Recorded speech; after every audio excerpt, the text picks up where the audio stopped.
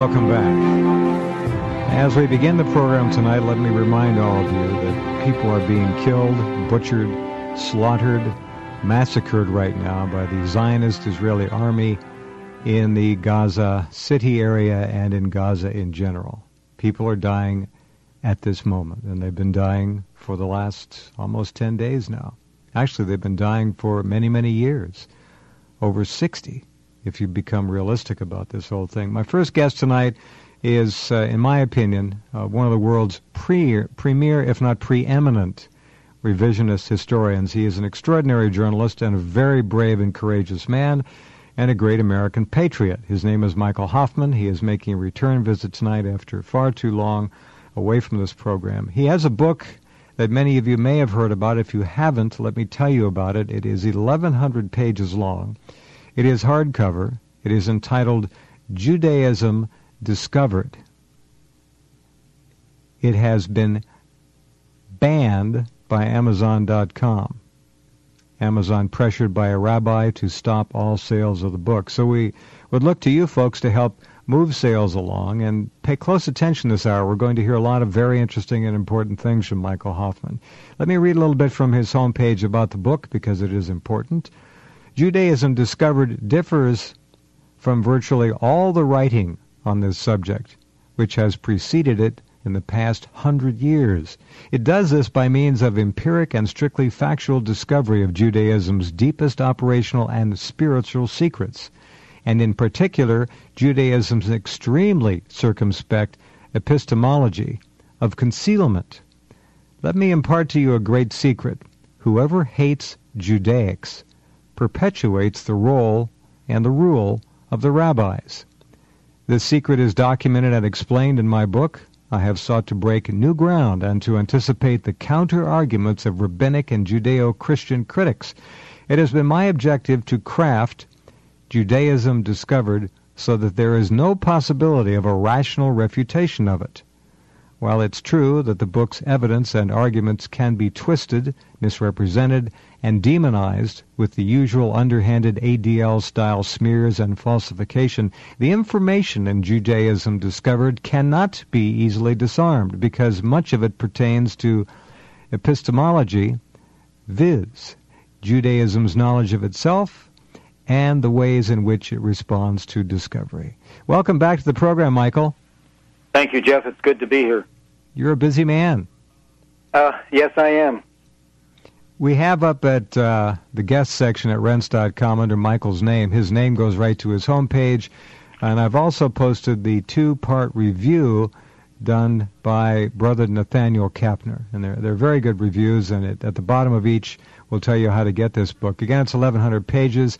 It is, it is a book literally unprecedented in modern history, and I don't think uh, we'll see another like it.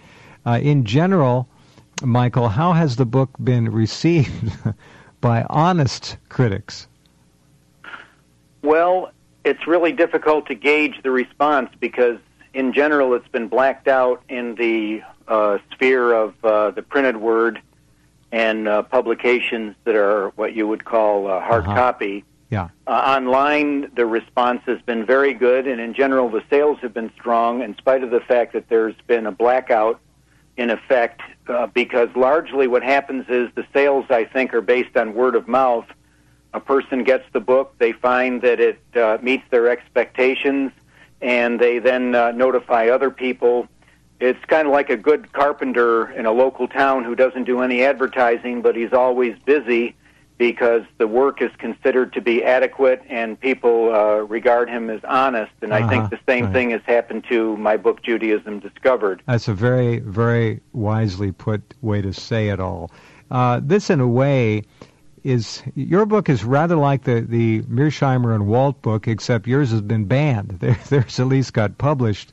Uh, both raise extremely uh, interesting, fascinating, and relevant, if not, well, life depending information. I mean, we've got to understand this thing because right now, as we look at the world, we see no longer a stealth or background effort. Uh, it, this is an in your face effort now by the New World Order led by World Zionism to literally take control of, of most of the so called civilized world. Uh, we have to understand what's happening. We must understand the enemy. Uh, anyone who slaughters and massacres people, uh, controls nations, starts world wars, finances both sides, and I could go on for hours, is the enemy. The enemy of peace, the enemy of freedom, of enlightenment. Uh, and this species is going to fail unless we understand what is happening to it and how it has been co-opted and how these United States, oh, excuse me, I always do that, these formerly United States have been taken over literally and are now the cash cow of world Zionism. And I don't mind telling you that. I've been telling you that for many years. And I don't know if you agree with all that or not, Michael, but uh, have at it. Well, my own concern, of course, is uh, Orthodox Judaism and the role that it's playing both in the Holocaust in Gaza and in many other spheres of its influence. And uh, we could begin with, uh, with I think, what is a hidden component in the uh, war on the Palestinians, because I find that most of the uh, rhetoric that's been generated in favor of the Palestinians is largely futile. As an observer of this scene since at least the late 1970s, um, I, I'm aware of how many massacres and war crimes the Israelis have perpetrated, and I'm also aware of the thin margin of people who protest uh, these massacres but I think the reason why we don't get anywhere with our protests and with our activism is is because we're only dealing with symptoms and we're not getting to the root. And the root of the problem is actually Orthodox Judaism. Now, a lot of people believe that uh, Zionism and Orthodox Judaism are inimical to one another, but actually, uh, they were synthesized by a remarkable figure in the 19th century who I study in my book, Moses Hess. And Moses Hess was uh, someone that Karl Marx called my communist rabbi. And Hess was both a Zionist and a Talmudist and a communist, all in one. So uh-huh. he took the Hegelian uh, process and he synthesized these two uh, supposedly opposing theses of Zionism and Orthodox Judaism and reconciled them uh, in a model which was actually adopted beginning in the late 19th and early 20th century, and which mm-hmm. we're still seeing today as uh, the aptly named Rabbi Kook developed what's known as religious Zionism in the 20th century in the Israeli state. Mm-hmm. But the roots of the violence that we're seeing, the uh, grotesque contempt for the Palestinian people, is in Orthodox Judaism. And Orthodox Judaism has had an enormous influence over the Zionist state because Zionism is something like a shadow or a reverberation of Orthodox Judaism, so that there are certainly plenty of secular Zionists who may say that they don't follow the Talmud and they don't care very much about rabbis, but at the same time, as a process of osmosis, of being part of the culture and of the tradition, mm-hmm. they have picked up this Talmudic racism.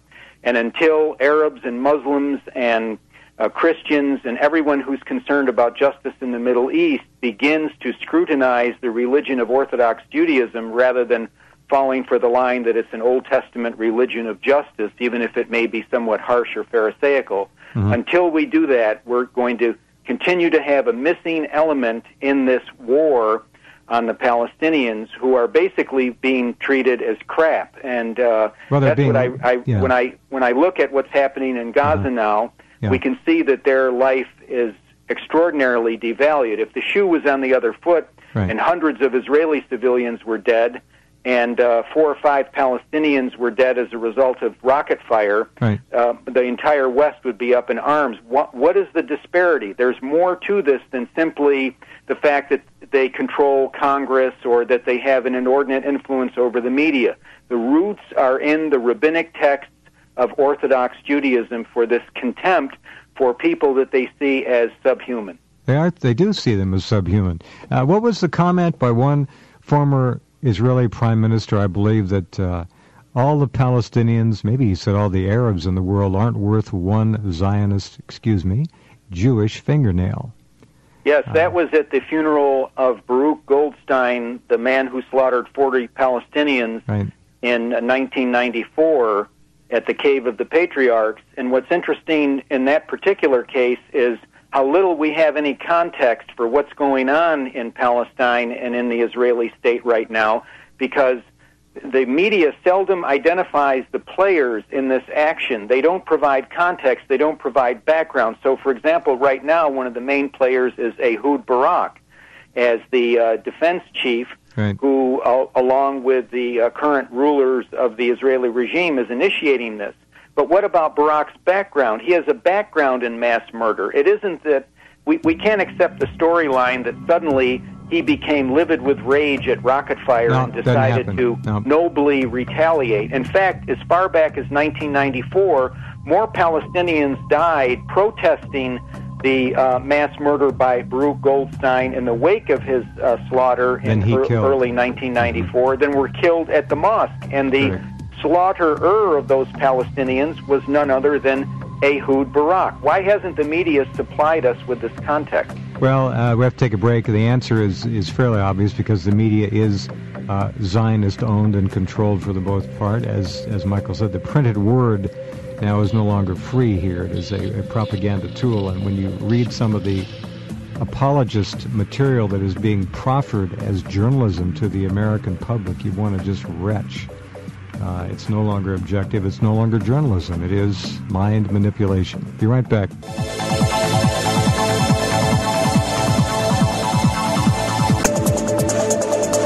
I'm sure that many of you listening have been watching the what they call coverage of the war. First of all, it's not coverage of a war, uh, and secondly, it's not a war.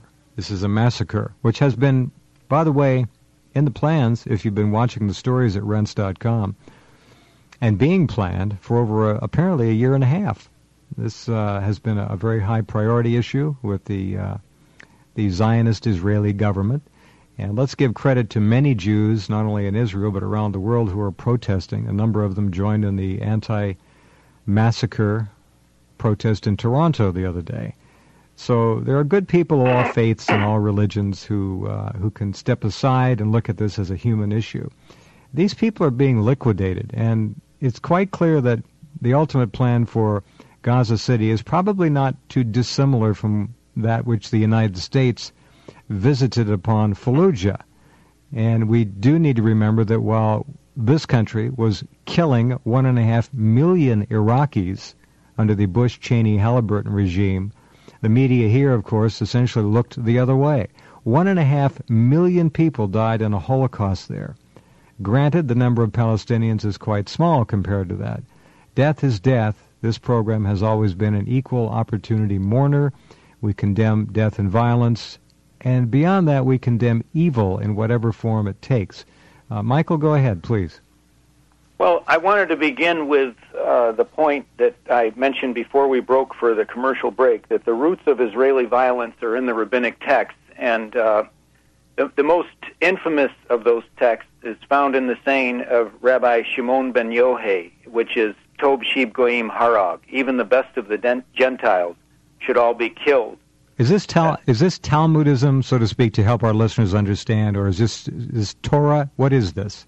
Well, they call it Torah, uh, but actually, there's uh, the Torah that they're referring to is the oral Torah, and it's no Torah at all. It's the tr- traditions of men, as uh, as Jesus clearly stated that, uh, and as and as Isaiah stated, and as as all the great prophets, uh, Isaiah talked about those who are dealers who mix the wine with the water, and here he was talking about the elders who were in the habit of mingling a water tradition with the commands of God. And and one of the um, confusions I think is is that people who imagine that Israeli violence is motivated by the Old Testament. The Old Testament is anti-Israel, and uh, Rabbinic Judaism is anti-Old Testament. Rabbinic Judaism defames Noah, it defames Abraham, it defames Isaiah.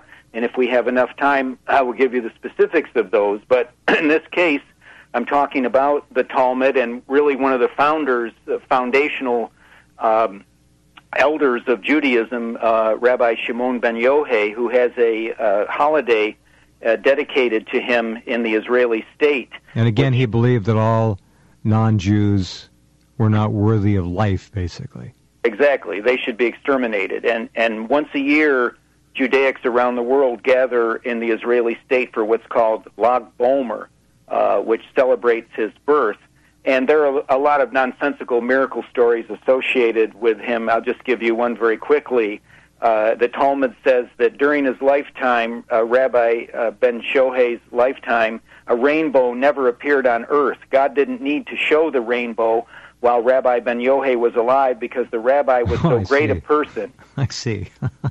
Very so good. great a person that his Uh-huh. own righteousness protected the whole world, and God's rainbow was not needed. And that's from the Jerusalem Talmud, Barakos 9 1. Hmm. And so here we see not only the, an extermination warrant for genocide, but we also see this incredible egomania, which actually trumps God's creation.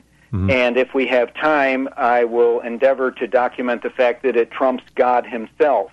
But so again, this, is an extra Old Testament religion. Uh-huh. It's it's a, a man-made religion. Well, the Ben Yohei statement is fairly notorious, but in my book I go into uh, far more recondite material. For example, from the Babylonian Talmud Sanhedrin 58b, when a non-Jew strikes a Jew, it's as if he's striking the divine presence itself. And uh, there's also uh, uh, something about uh, mass murder as a mystical technique for the attainment of ecstasy and personal experience of the divine. This came out after the 1994 Hebron massacre by the aforementioned uh, Baruch Goldstein, when Rabbi Yitzhak Ginsburg, who's of the uh, Chabad Lubavitch group, Uh-huh. And he wrote a track called Baruch HaGever, which treats atrocity as a mystical technique for the attainment of unmediated, ecstatic, and personal experience of the divine. so they get off on genocide.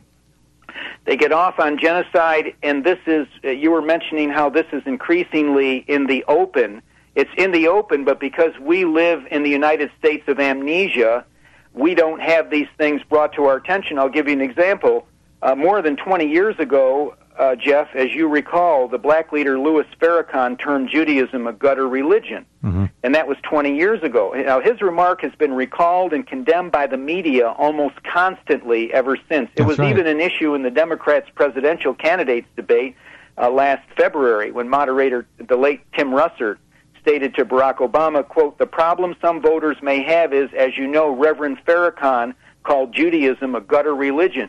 So Mhm. here's Russert bringing up um, an ancient statement from Louis Farrakhan of Mhm. 20 years vintage. Mhm. But now watch this.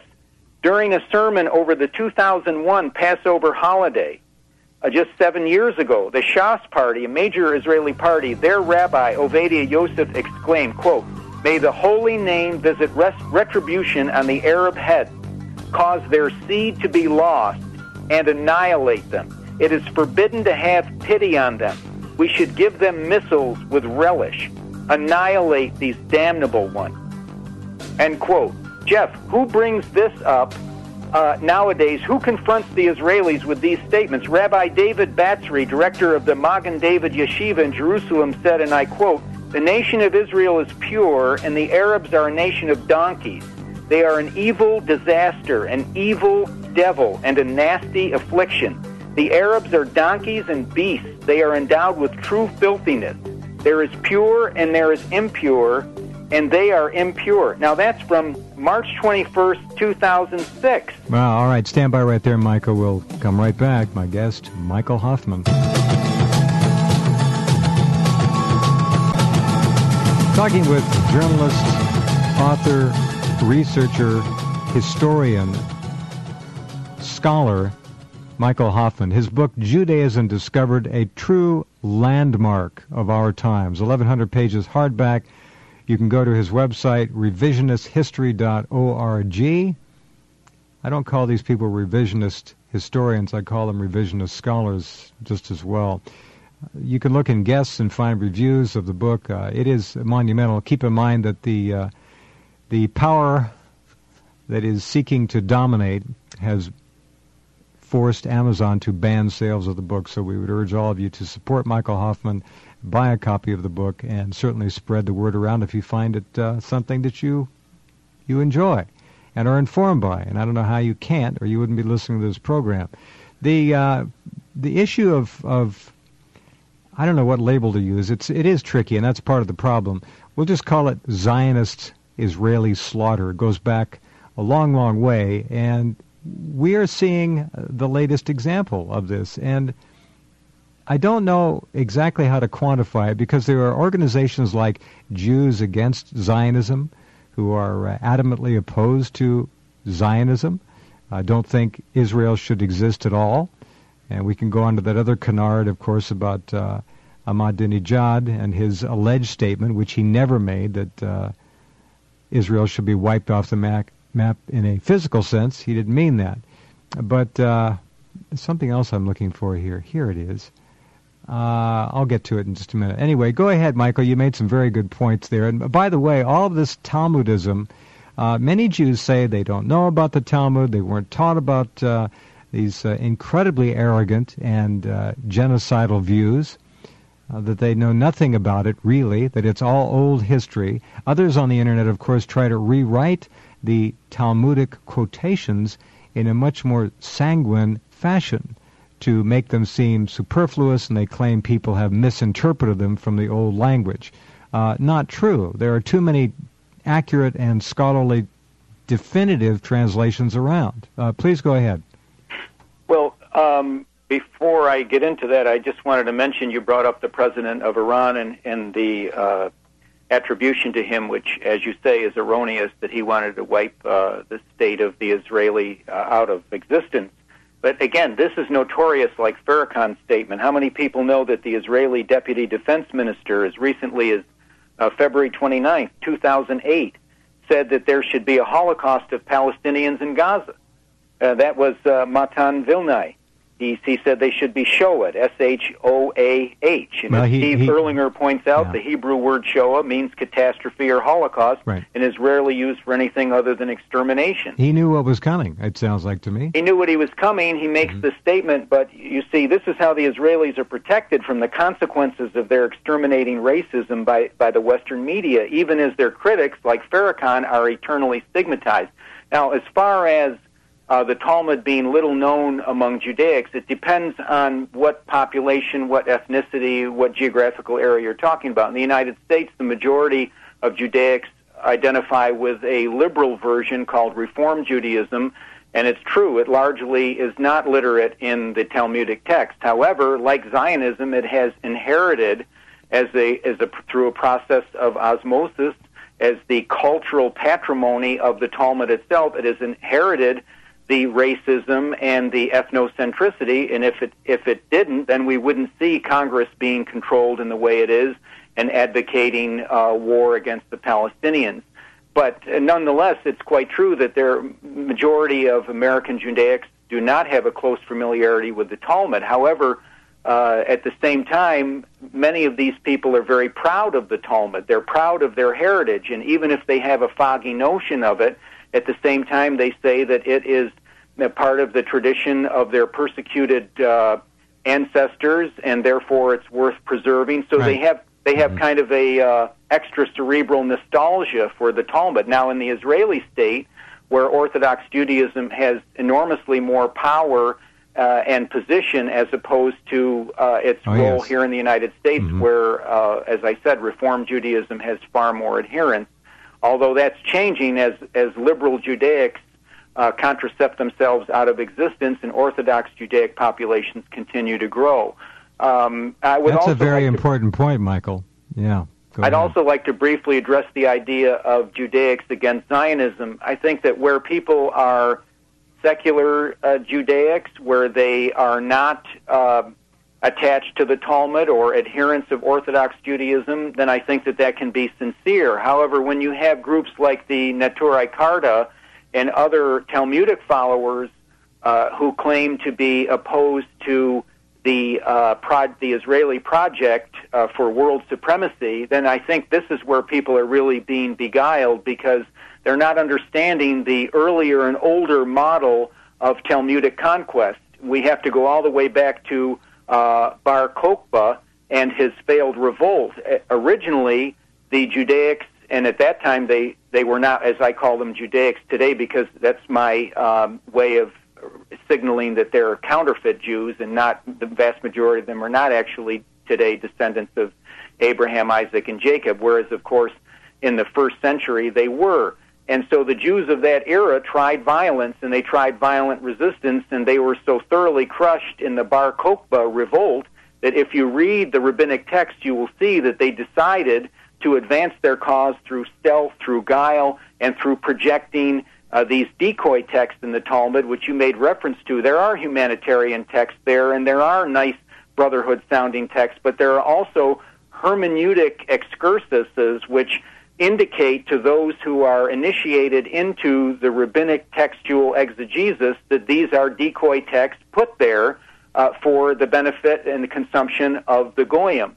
And if we're good fruit inspectors, we'll find out that uh, the uh-huh. fruits of the Talmud are bad and they're racist. So that sort of undercuts at, at a very initial level the fact that these are just superficial texts that were placed there uh, for the benefit of the goyim. But in terms of this competition between two differing interpretations, the Neturei Karta and other Talmudic Judaics like them represent the old school that Bar Kokhba uh, was crushed by a Gentile military power as represented by Rome, and so it's not really sanguine for us to proceed along the Bar Kokhba model.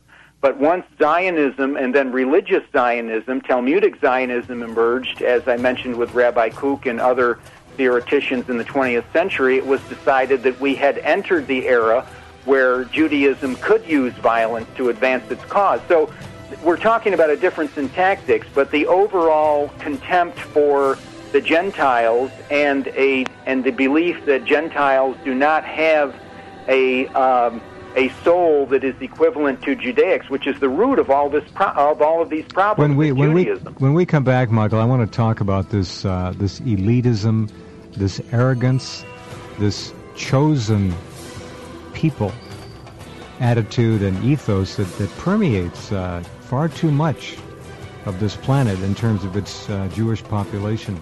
We're they have the Neshama Ha'eluna. Yes, I'd be glad to talk about that. In just a minute with Michael Hoffman.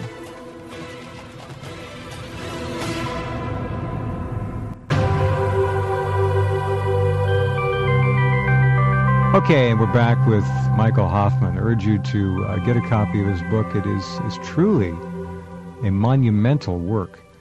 Uh, as many of you know, the uh, effort by organized Zionism to force Jews to Israel was rather uh, ruthless, to put it mildly.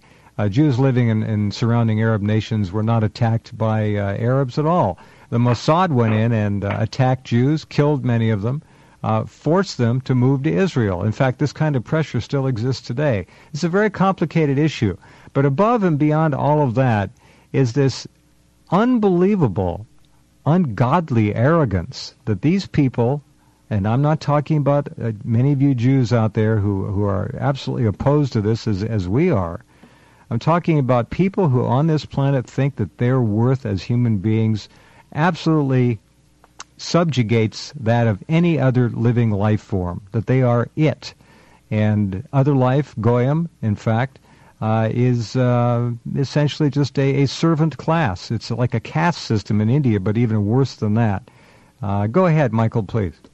Yes, well, uh, what you're really talking about is the Neshama Ha'elona, which is the soul of a fully human being, and according to the rabbinic text, only a Jew would possess that status. So the rest of us are lacking this nephesh status.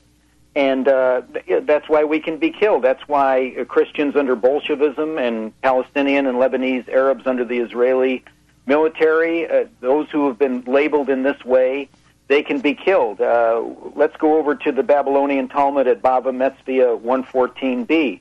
Only you, the members of the Jewish people, are called men, but non Jews are not called men. Now, the ADL and some of these other hysterical uh, apologist groups will say that that's a made up quote or it's taken out of context.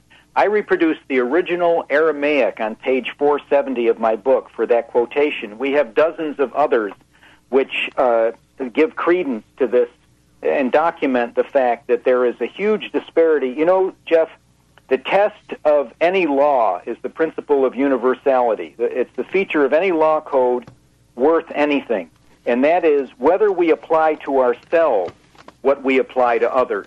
And the great defect of Orthodox Judaism and all of its tributaries, which are offshoots of it, uh, Zionism and and uh, these other uh, ideologies is is that they don't do this. They have one law for the elite themselves and another law for the rest of us, and that's at the root of what we see happening in Gaza. Because otherwise, it's almost unexplainable the contemptuous disregard and dismissal of, as you say, it's not a war, it's a massacre, and this disregard for it on the in the West. Now, in the third world, of course, it's a burning issue, and Al Jazeera and other uh, independent media outlets have have done a pretty good job of bringing this to the attention of the public. For Westerners, it, it's not an issue. And it really, again, it comes back to the religion of Judaism, which is lacking in the principle of universality it says that God is sublimated to the rabbis, the Gentiles are sublimated to the rabbis, and therefore, uh, and it's we're you know we're all just uh, more or less uh, sitting ducks for them. And also the idea that there's going to be peace in the Middle East. This is really a chimera because Judaism No, teaches totally. that anyone who returns the land of Eretz Israel, as they call it, of Greater Israel to the Gentiles, is in fact a din rodef, which is a pursuer. And a din rodef uh, is someone who can be killed immediately. Um, the entire nation of Palestinians have been classified en masse as din as din rodef because from a halakhic point of view, that means from the point of view of rabbinic law, the man-made Talmudic-based law, uh, a din rodef is anyone who returns the land of Palestine uh, to the Palestinians, and they and they can be killed. And it's sort of a uh, kind of a preventive attack. Uh, apologists say is that uh, a rodef is someone who's coming to kill you, so you kill him first. But in fact, the uh, actual definition of a rodef is, for example, a tipster who identifies a Judaic child molester to the police Mhm. An unborn baby is can be can be aborted because it's seen as pursuing its mother, or an Israeli prime minister like Yitzhak Rabin who signs the Oslo Accords. All of these people were regarded as rodefs, and uh, you know I could give you quotation after quotation from Shaul Mofaz, from Rabbi Druckman in the Israeli state that backs all of this up. That uh, you can kill non-Jewish civilians. This was a Talmudic edict that was issued by Druckman, and he's a, he's not some marginal crazy in the Israeli state. He has a, a tremendous prestige there, and he says that uh, the Israeli army should never hesitate to kill non-Jewish civilians in order to save Jewish lives. He even quoted a Talmudic edict from the ancient Rabbi Akiva, which states, "Our lives come first. And of course, Israeli soldiers and officers, as even the newspaper Haaretz admitted, are influenced by these halakhic ethical commandments uh, in terms of this is how they behave towards the subject peoples. So we know there was a Nazi ideology. People have been able to trace uh, the contempt that Hitler had for Slavs and, and for Judaics, and yet very few people are allowed to come into the marketplace of ideas and raise uh, this, uh, track this uh, trail of supremacist logic and the rationale for mass murder back to the Talmudic text. Until we do that, until we have the courage and scholarship to do it, we're going to be running in circles, chasing our tails with a lot of rhetoric condemning Israeli aggression, and the American people are almost oblivious to it. But Right. if a lot of these Christians could understand that Judaism is an anti Old Testament religion that defames Abraham, that says that Abraham was fill, filled with lust, that says that Noah was a drunk, that says that Isaiah, the prophet Isaiah, deserved to be killed and in fact was killed uh, by the um, the followers of the oral tradition because Isaiah had had made the mistake of saying that uh, Israel has unclean lips, and for that uh, the Talmud says that he was he was quite rightly killed. And this is when Jesus says, if you recall, he says that you uh, are witnesses against yourselves. This is obviously a reference to Jesus' knowledge of the oral law, where in the oral law, which came to be written down after they Mm-hmm. crucified the Messiah of Israel, and they became even more corrupt, and then they committed the oral law. Okay, let me writing. let me switch a little bit on this.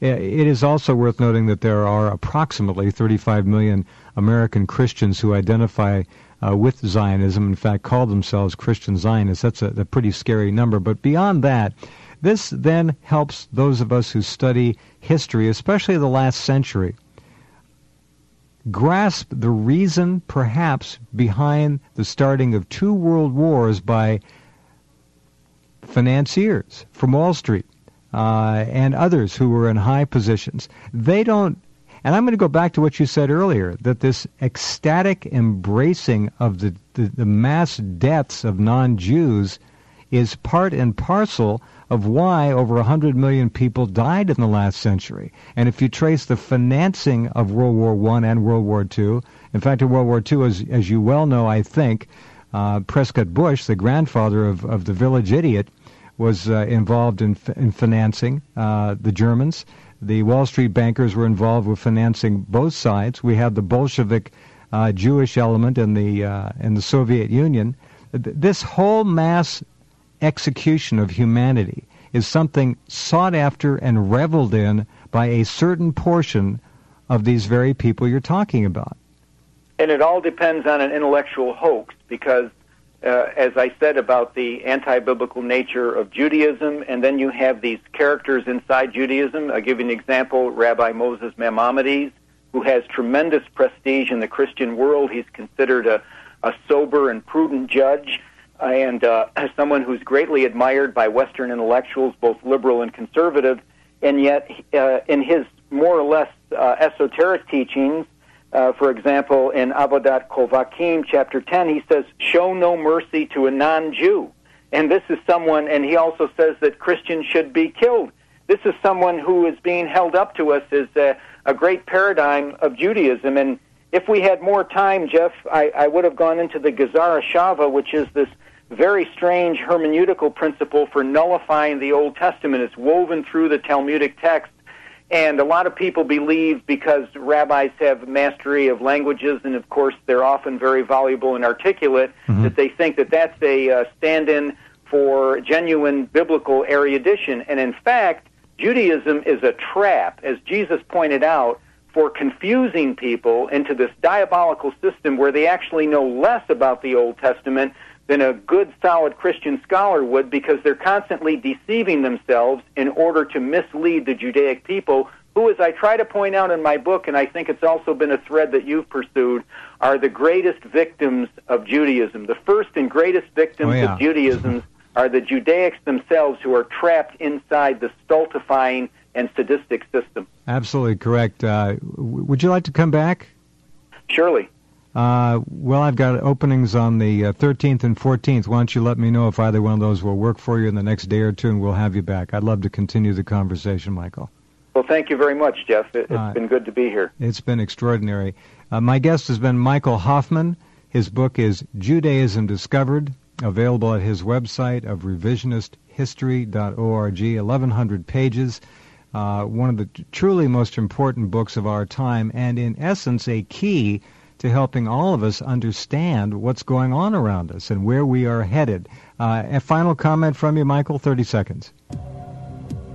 I guess my final comment would be to make people aware of this patriot issue, of this Israeli issue, of the anti Semitism issue by going back to a story in the Old Testament, which is when the prophet Elijah, uh, Elijah faced off against King Ahab. What happened? King Ahab accused Elijah of being anti Israel. The corrupt, wicked king used the patriot card and used the anti Semitic card to accuse a great yeah. prophet of being anti Israel. Let us not fear to have that label attached to us when we're telling the truth.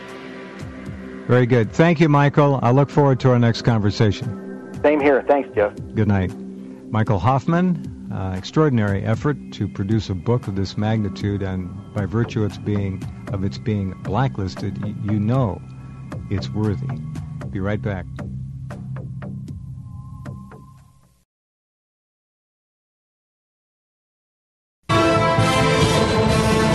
Okay, welcome back. And coming back this hour for his second visit, part two of our conversation Michael Hoffman, the uh, author of the absolutely unprecedented volume, and I mean it is a big book. It's uh, it's over a thousand pages long. It's entitled Judaism Discovered. This book, of course, has been uh, blacklisted by every major Zionist-controlled news media. outlet, probably in the Western world, if not the entire world. Uh, it's quite a compliment. Hello, Michael. Hi, Jeff. Hi, welcome back. Thanks. What's going on with this this story of yours in light of the uh, the exposition, shall we say, the unavoidable, obvious exposition of the simple fact that the uh, Zionist Jewish state of Israel is anything but the uh, wonderful, friendly little democracy in the Middle East that has uh, commanded so many hundreds of billions of American taxpayer dollars, and of course uh, has been using its past uh, sufferings to uh, dupe and deceive uh, much of the Western world into supporting it and allowing it to get away with uh, what amounts to bloody murder. Well, you know, for me, Jeff, the root of the whole thing is in the religion of Orthodox Judaism, and a key factor here would be the otherwise incomprehensible treatment of the Palestinians because they really are being treated as less than human.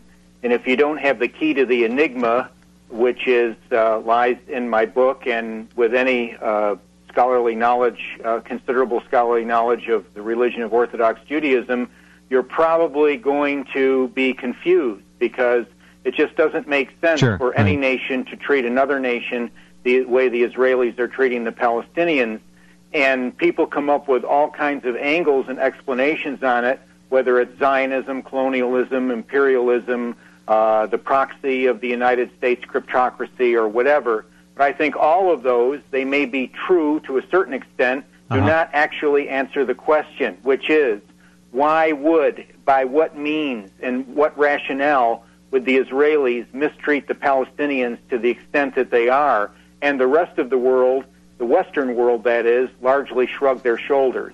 They're And, uh, they're, they're liquidating them. Uh, is what they're doing. Uh, this is a, a, a certainly a reasonable overlay of the Fallujah type template. They're not razing Gaza City to the ground, at least not yet. Uh, but it's it appears to be a liquidation. Another uh, what was done to the American indigenous peoples. Uh, they're taking what's left of uh, the land that these these poor people are, are pushed into, and they're going to resettle it. They're already declaring a permanent buffer zone will be set up, meaning they're acquiring more of Gaza. It'll be smaller and smaller. I, I just I see this as a as an extermination. Yes, they're shooting people who are waving white flags who've been told to evacuate their homes. Then once they go to an evacuation locale, they're gunned down there because they've actually been tricked into leaving the comparative safety Of of, their their, homes, homes. right. And then once they've been exposed to the gun sights of the Israeli army, they can be shot down with impunity. We see the world going to the streets. Uh, really, hundreds of thousands, if not millions, of people have demonstrated around the world about this, and yet the governments of the Arab world and certainly the Western governments largely remain uh, silent or apologist in their mode and their contemporary view of this uh, formal, official contemporary view of this slaughter. Uh, it is rather an interesting dichotomy when you think about it. It does show an astonishing control element at some level of a very great and vast amount of the world as we know it. Well, they are succeeding to a certain extent. In the long term, they're going to fail because you cannot defeat a nation, and this is one of the truisms of wiser and cooler heads uh, in statecraft. You cannot defeat a nation by force of arms, short of outright extermination.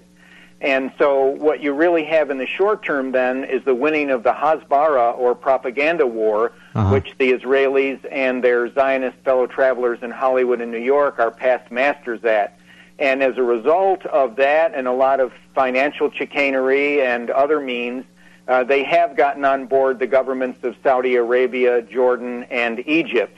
But I think there's going to be a bitter price to pay for that in the future for these nations. And of course, I am talking about armed resistance and uprising. But unfortunately, even that uh, synthesis or antithesis uh, to the thesis will result in a synthesis which the cryptocracy is anticipating, in that they love violence, they feed on violence, and they're actually looking for some kind of Al Qaeda type of uh, reaction by whereby they can justify an increased police state here in the United States. And of course, as you know, this morning, the Oh, ghost yeah. of Osama bin Laden It's was amazing. beautifully summoned to the streets of Gaza where he could hold forth. Uh, another another fake audio release. The guy's been dead for years, probably, and uh, here he is again, coming to the rescue of the, the Talmudists, uh, so to speak. Uh, it's, it's pretty obscene.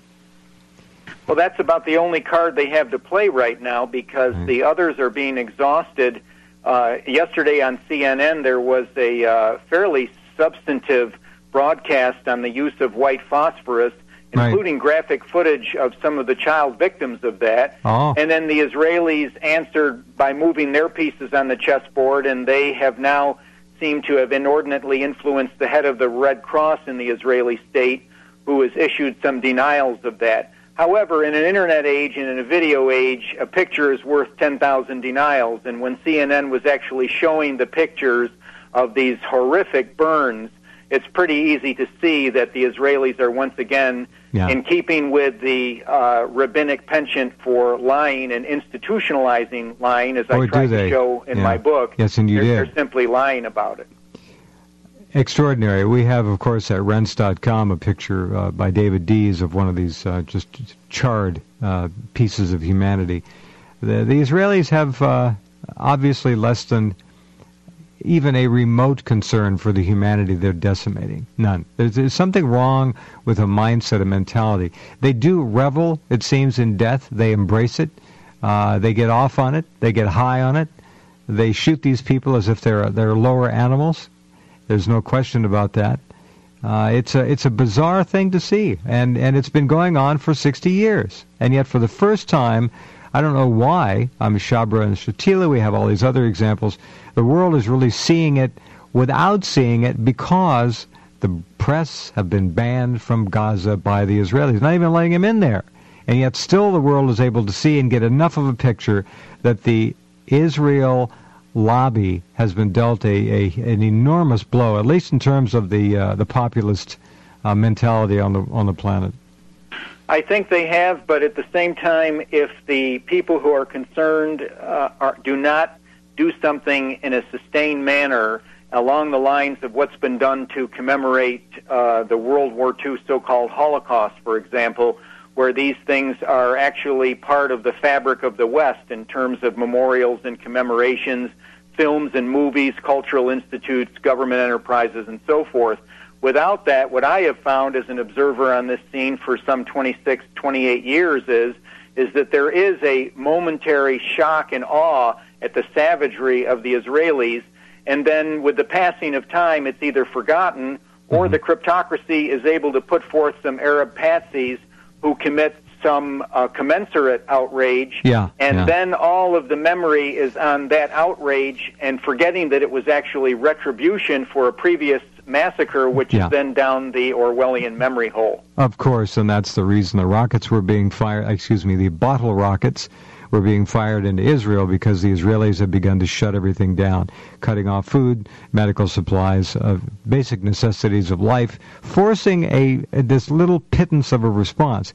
Now, if a rocket were to hit an Israeli school and kill four or five school children, the deaths of those four or five school children would be blown up graphically in the international uh, Zionist slash Israeli sympathetic or owned uh, media. And all of a sudden, the, the thousand plus men, women, and children who have been slaughtered in Gaza by the Israelis would would would be equal at best to the loss of four or five uh, Jewish children in a school should a rocket ever hit one. I mean, that's the kind of thing I think you're talking about. Absolutely. If 1,000 Israelis uh, were dead, thousands wounded, and about one third of those casualties being children, Right. uh, we would not see the kind of trivialization and business as usual that we're seeing in the West today. In fact, it could even be that uh, President elect Obama would either actually incorporate it into his inauguration speech, or I could even envision Yeah. him postponing the inauguration. I mean, that's Yeah.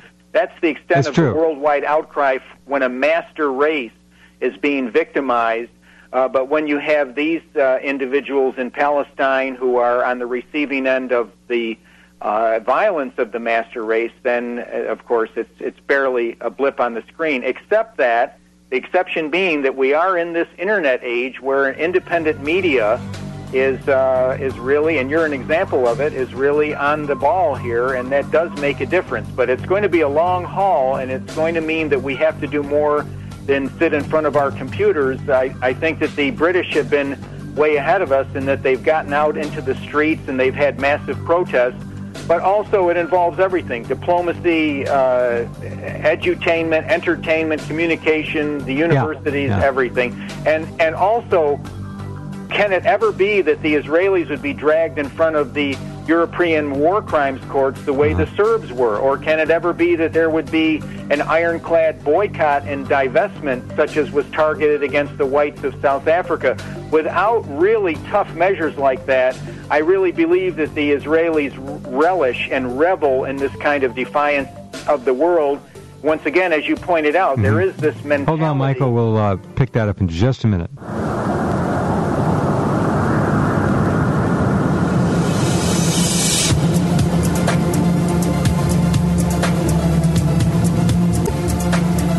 Okay, talking with Michael Hoffman. Michael, you were just starting to say we had to take a break. Uh, uh, as you, as you you said, as you pointed out, as you were pointing out. Do you remember where you were on that? Well, I'm talking about this mentality of paranoia and anticipatory violence where Right. they anticipate the reaction of their enemies. And also the warrant for genocide uh, on our website, Jeff, at www.revisionisthistory.org. We have a statement from the Jerusalem Post uh, from the former Sephardic chief rabbi Mordecai Eliyahu, and I quote, all civilians living in Gaza are collectively guilty for Qassam attacks on Sederot, says the former chief rabbi. And his son, Shmuel Eliyahu, who was chief rabbi of Safed, said his father advocated carpet bombing the general area from which the rockets were launched, Yeah, regardless of the price correct. in Palestinian life. End Yep. quote. So this is the equivalent of a fatwa. We hear so much about a fatwa being issued by Oh, some imam Yeah. to commit some atrocity against the West. What about these religious dictates that are given to the Orthodox soldiers in the Mm-hmm. Israeli army and those in the political arena who are interested in garnering favor with these very powerful rabbis? What Yeah. about the effects of this in terms of how it, the Israelis wage the war that they're waging against the Palestinians? Completely policed out of analysis of Israel's war, counterfeit Israel's war on Gaza. Wow, it, summed up perfectly. Uh, by the way, if you folks still haven't gotten onto it, uh, just watch your mainstream media apologize for Israel and, and underestimate, underrate, and downright obfuscate the reality of the slaughter that's going on there. This is, is beyond hideous. The number one story in, in the uh, Google News page right now Apple computer well positioned to race forward while Steve Jobs sidelined. Hey, this is the number one story. Uh, okay, there you go. What we have here is uh, an event going on that is unfolding that probably will not lead to any kind of definitive victory for, for either side, but in a de facto sense, uh, the Palestinians have, have already won. Uh, in the World Court of Public Opinion, uh, the Jews, the Zionist Jews, the uh, Israeli Jews, some would call them the Zionist Nazi Jews, because of their tactics, which are identical to the World War II uh, alleged tactics of, uh, of Germany and its allies, is already on the books. It's there. Uh, it's it's quite an interesting thing to see happen in a way, uh, and thanks for the internet because without it we would have uh, really no idea of what's going on there. They would be able to bring the lid down on this completely.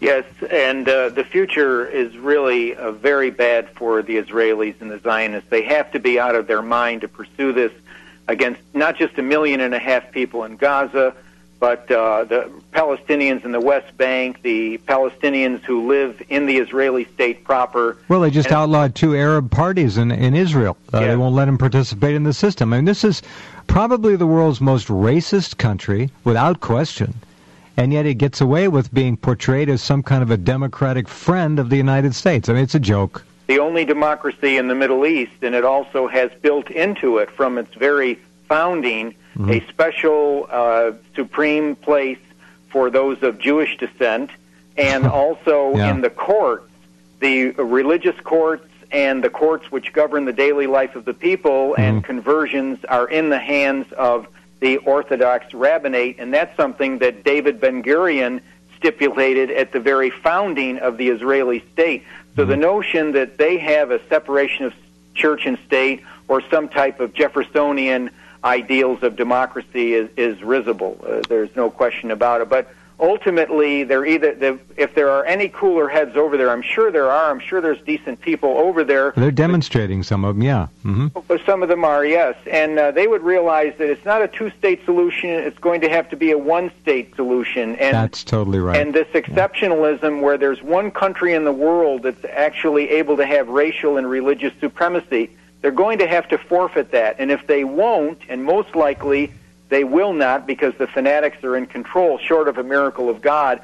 We're going to see relentless bloodshed, which could lead us to a nuclear war. It could lead us to all kinds of terrorism directed against the American people. Yeah. It's really a mess.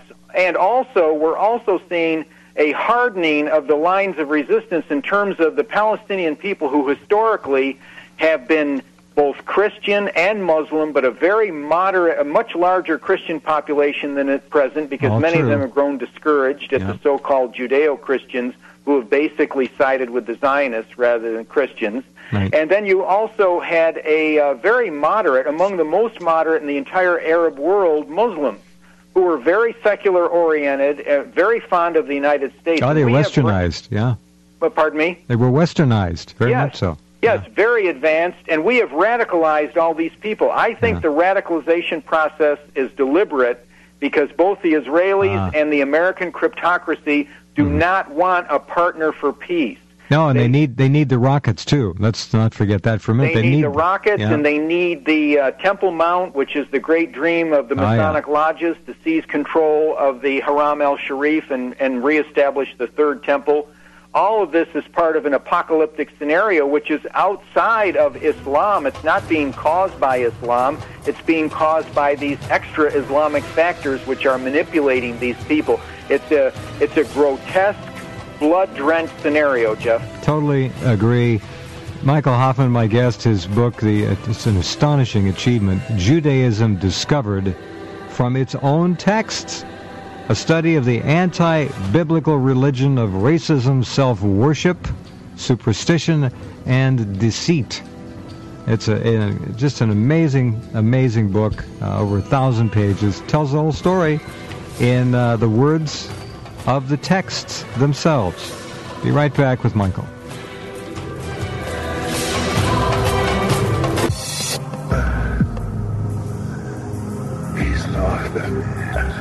Visiting with Michael Hoffman and talking about uh, current issues, his book as a backdrop, not only for this issue, but for all issues uh, in the future and the past. This is the definitive book. Nothing will ever be published, in my opinion, that can touch it. Judaism discovered from its own texts. Its own texts. Crucially important to understand that. Associated Press continues to uh, apologize for Israel. Uh, it's an obscenity there's a story in the Telegraph uh, in the UK showing uh, Bibi Netanyahu saying Hamas must be removed from Gaza. This, of course, the ultimate exterminationist war hawk.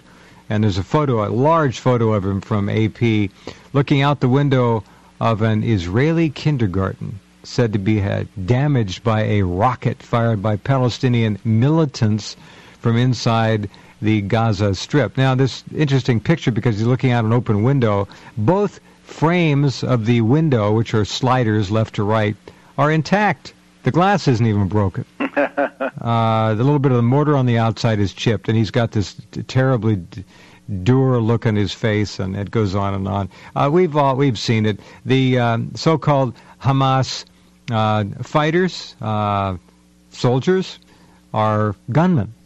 Uh, it's all a matter of semantic manipulation. They're gunmen. Gunmen. What are gunmen? They're not freedom fighters. They're not resistance fighters. They're not fighting to try to secure what little tiny foothold on uh, on a human living situation that they have. They're called gunmen, i.e., criminals. Uh, and yet the criminality, of course, is being perpetrated upon them by their neighbors the white phosphorus dropping, new weapons testing Israeli so-called defense forces. Nothing defensive about what's going on here now at all, in the opinion of most of the world. Um, okay, let's go back to your book now and talk about the part of the title, the subtitle, of, or well, it's not a subtitle, but the second part of the title, from its own texts. There have been many stories on the internet citing texts and quotes from the Talmud, which uh, apologists and others are, are, quick to say have been mistranslated. What are what are people to make of that kind of uh, of effort to obfuscate the reality and totality of these of these texts? How errant are the translations of the old Talmud?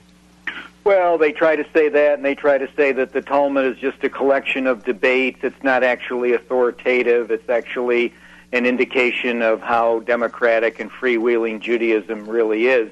All of this preys on the ignorance of people, including many Judaics themselves who have never seen the Talmud and have only uh, perhaps read some extracts from it in a magazine or newspaper or something may, like may that. I, uh, Michael, may I uh, modify that, or not amplify it, rather, just real quickly? I got a an email from an Israeli uh, who's talking about exactly what you just mentioned. He said, when, when uh, let's see, regarding the Talmud, I studied it a little bit in school when I was a kid. Now, this guy's a military veteran.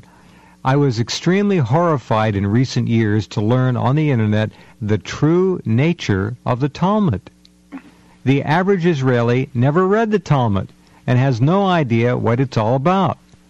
We always left it to religious nuts, and now we're paying for it.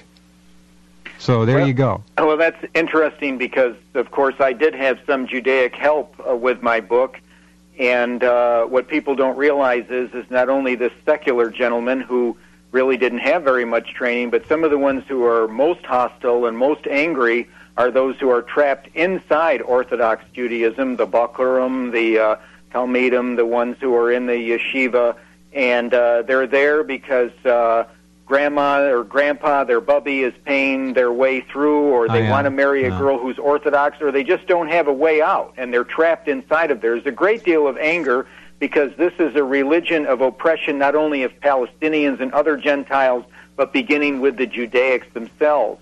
But to answer your question, we have a very good uh, translation for those who do not read Aramaic in the original, and that's the Steinsaltz translation, which unfortunately Random House stopped about uh, just a little bit more than midway through the uh, publication. Random House stopped it for reasons that have never been clear, and of course we could speculate as to what those reasons are. But nonetheless, there are uh, 21 volumes of the Steinsaltz Talmud that are available out of what one could generalize and say approximately 35 volumes of the uh, Gemara. The Talmud is actually comprised of two sets of books, the Mishnah, which corresponds to the oral tradition that Jesus confronted when it was still oral and hadn't been committed to writing, and then when Israel became really corrupt by crucifying their Messiah, as a symptom of that corruption, they committed this oral tradition which had haunted them for centuries to writing in the form of the Mishnah, thereby institutionalizing it. And then after the Mishnah, from the second to the fourth century onward, came the Gemara, and those books together are collectively known as the Talmud. But one of the things I try to point out in my book, Jeff, is that there are many more authoritative texts which have followed up on these because uh, when you're the old saw about oh what a tangled web we weave when first we practice to deceive well the web of judaism is very tangled indeed and it goes all the way up to the mishnah berurah commentaries and uh, authoritative halakha which is still being written to this day so you're actually talking about hundreds and hundreds Ah. of compendiums Mhm. of books related Wow. to literally millions of laws Wow. That's a, ex- gigantic amount of material. All Yes, right. it's a, it's an enormous compendium, and then what we try to focus on in the beginning of Judaism Discovered is on the roots of the halakha itself. In other words, to document what is the law, the halakha of Orthodox Judaism. It certainly isn't the Old Testament, as Jesus himself said in Mark chapter seven. You nullify the Word of God. You teach for doctrine the commandments of men because uh, it, it's that's what it actually is. It's the religion of men, the Torah Shebe'al Peh, which is their Torah, not the Torah of Yahweh. And uh, the roots of this uh, halakha are in the Mishnah. They're in the Gemara. They're also in the uh, Zohar. They're in the of the Kabbalah. They're in the Mishnah Torah of Maimonides. They're in the Tur. That's T U R of the Rosh, Rabbi Asher ben Yechiel, and I could go on and on, the Shulchan Aruch of Joseph Caro, and many others of these, which are they're a living document to these people today, and they Sure. rule every aspect of their lives. One of the mm-hmm. things I point out in the book is how regimented Judaic women are, for example, with regard to their menstrual period and the time after the period, how neurotic they have to be about any spotting of blood, how both the husband and wife have to be virtually psychotic in spotting this blood. The rabbi can be called in to examine the woman's uh, underclothing. And, I mean, the whole thing uh, it, it, is Doesn't a sound like- compendium of, yeah. of insanity. And I've often said that Freud, the Freudian psychology, is actually directed at the Talmudic mentality and not the Gentile mentality because most of his patients were coming out of this insane asylum and were victims of it. And that's where he got a lot of his really far out concepts about penis envy and Oedipus complexes and so forth. It comes straight out of a Talmudic Ah, mentality. remarkable. All right. Be right back with the uh, amazing scholar and historian Michael Hoffman.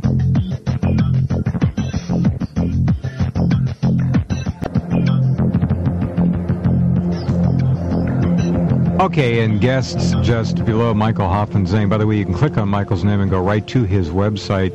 Uh, the two parts of the review of his book by uh, brother Nathanael Kapner, raised a Jew, now a Christian. Uh, very interesting. One of the quotes in the interview, continuing his censure, Hoffman illustrates how the, quote, Israeli citizen, end quote, presents to the world the image of the aggressive killer, no longer possessing the, quote, exiled, hunted Jew image.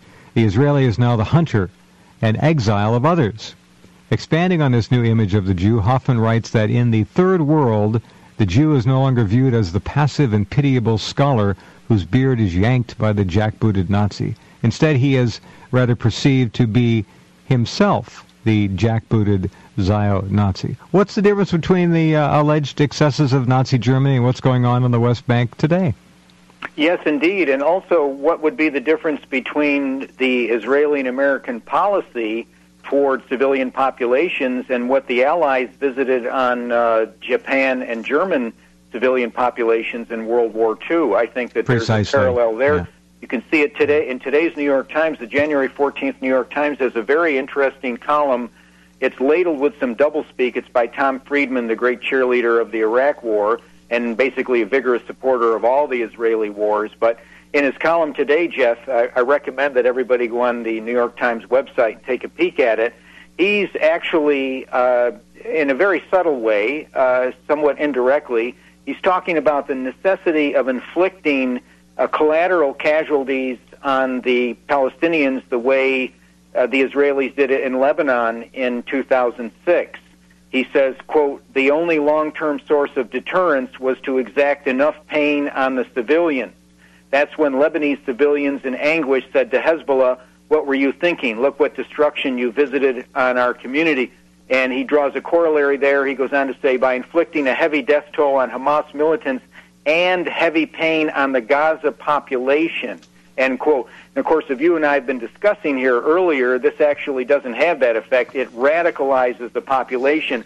But what kind of makes my hair stand on end is that in an era of touchy-feely sentimentality and protection of every minority from the whales and the seals to uh, our fellow human beings, and all of whom should be protected, and yet at the same time we have this extraordinary exceptionalism where we can practice the most naked kind of aggression in terms of intimidating, humili- humiliating, and indeed extirpating Right. a population of Arabs and Palestinians, and it's done with impunity. These people are actually the grave diggers. If I were a Judaic, I would be ashamed, embarrassed, and would want to hide under my bed if these people were my spokesmen. Because, as I have pointed out, the image of the Judaic, especially in the third world, perhaps not so much under the hypnotic sway of Hollywood and New York in the first world, but in the third world that's once removed from that entertainment industry, Right. you really do have a picture of Judaics as aggressors. And people like Thomas Friedman, flagship columnist for the flagship Zionist newspaper, the New York Times, are really basically giving a black eye both to the Israelis and Judaics in general, and also are visiting upon them what's going to be a Masada complex. This is it's extremely destructive. Oh yeah, there are uh, so many. I'm trying to stay on top of this 24/7 since the uh, invasion and attack on these uh, these poor people began with all the stories I can grab around the world, and there are some really amazing things to read there, which you won't find in any of the American mainstream controlled Zionist press. It won't happen. One of the more interesting was how uh, Olmert is alleged to have ordered Bush, actually pulled him off the stage over the telephone to talk to him, to have him instruct uh, that the U.S. vote uh, be turned to an abstention in the UN uh, regarding a, a ceasefire and so forth. The, the bragging the arrogance, the supreme elitism of God's chosen people knows no bounds. I mean, they don't even hide it anymore. They just boast about it. It's it's amazing. I want to go back to Michael's book here, Judaism Discovered, and there there are so many quotes here that we've heard about and seen over the years at Rense.com and other websites that you go into detail on and really nail down. Uh, the authority of the Talmud is discussed, the Talmud of the toilet, uh, I'm going to read some chapter headings here for you so you get an idea of the, the length and breadth of this book, which really should be read by anyone, and especially Jews or Jewish Americans, to try to understand what's really going on with this issue. The superiority of the Jews, the inferiority of the Gentiles. Gentile, not a brother or a neighbor. Jews may kill non Jews. Forbidden to praise a Gentile Gentiles not to be trusted, the Talmud and women, Christians in the Talmud, Jesus in the Talmud, blame the Romans, anyone but the Pharisees, child molestation in the religion of Judaism, sexual intercourse with little girls is permissible, genocide advocated by the Talmud, and I'll stop there. But you get an idea. All of this is is uh, investigated, analyzed, and presented at the highest levels of, of true scholarship and journalism, and it's it's left to you to make your own decisions. So this book again is a, a classic. It has been blacklisted. It won't be reviewed in the New York Times. You can count on that, or anywhere else to speak of, and, and the big mainstream Zionist press. They won't touch it for obvious reasons. Are they still in the business of trying to cover up all of this stuff? Or are they just kind of leaving it to rattle around on its own on the internet, not too worried about it? Well, they have a website that's dedicated to refuting my earlier little book, Judaism Strange Gods. I haven't seen much movement to actually refute this because whereas word of mouth is strong on my book, and thanks to folks like you, that word of mouth is increasing day by day, but at the same time, they've been able to clamp down a pretty tight lid through most of their other venues. So they haven't had to deal with this book, which I think will be pretty difficult for them to handle. But with my earlier book, there was a website that was dedicated to refuting it, but they never actually named me or named the book. They simply quoted from it. That's how fearful they were of wow, giving it go. any publicity yeah. at all because, you know, one of the things I'm trying to do in this work, the the title headings there that you gave out are fairly incendiary and uh, people might think it's a work of purple prose or something like no, that, or no, not stock at all. epithet. Doesn't read like that at all.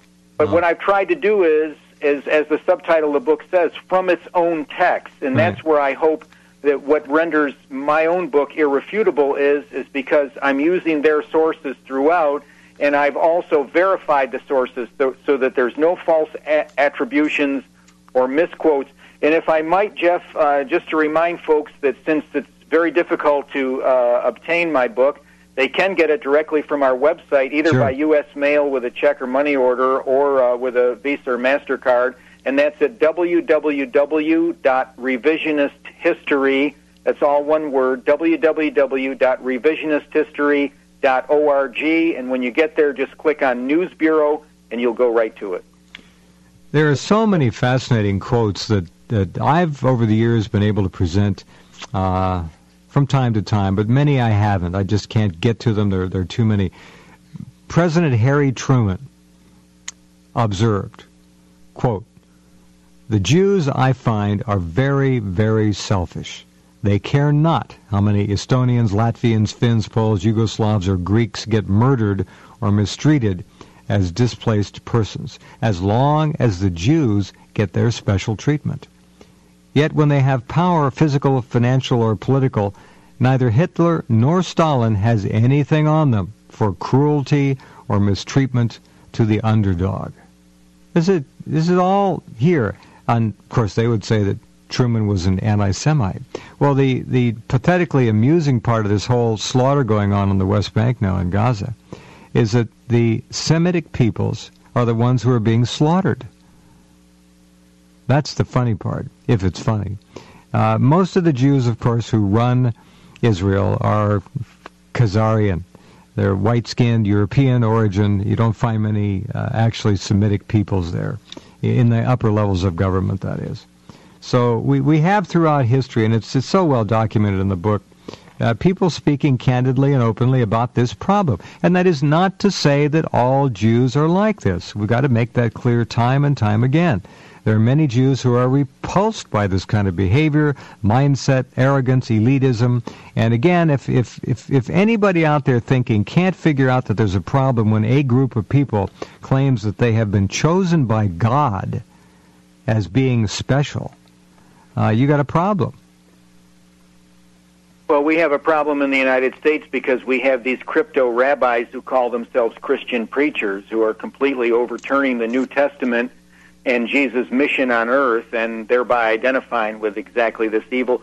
By the way, Jeff, that quote from uh, Harry Truman was unfortunately from his private diary. He never articulated those sentiments in public. Mm-hmm.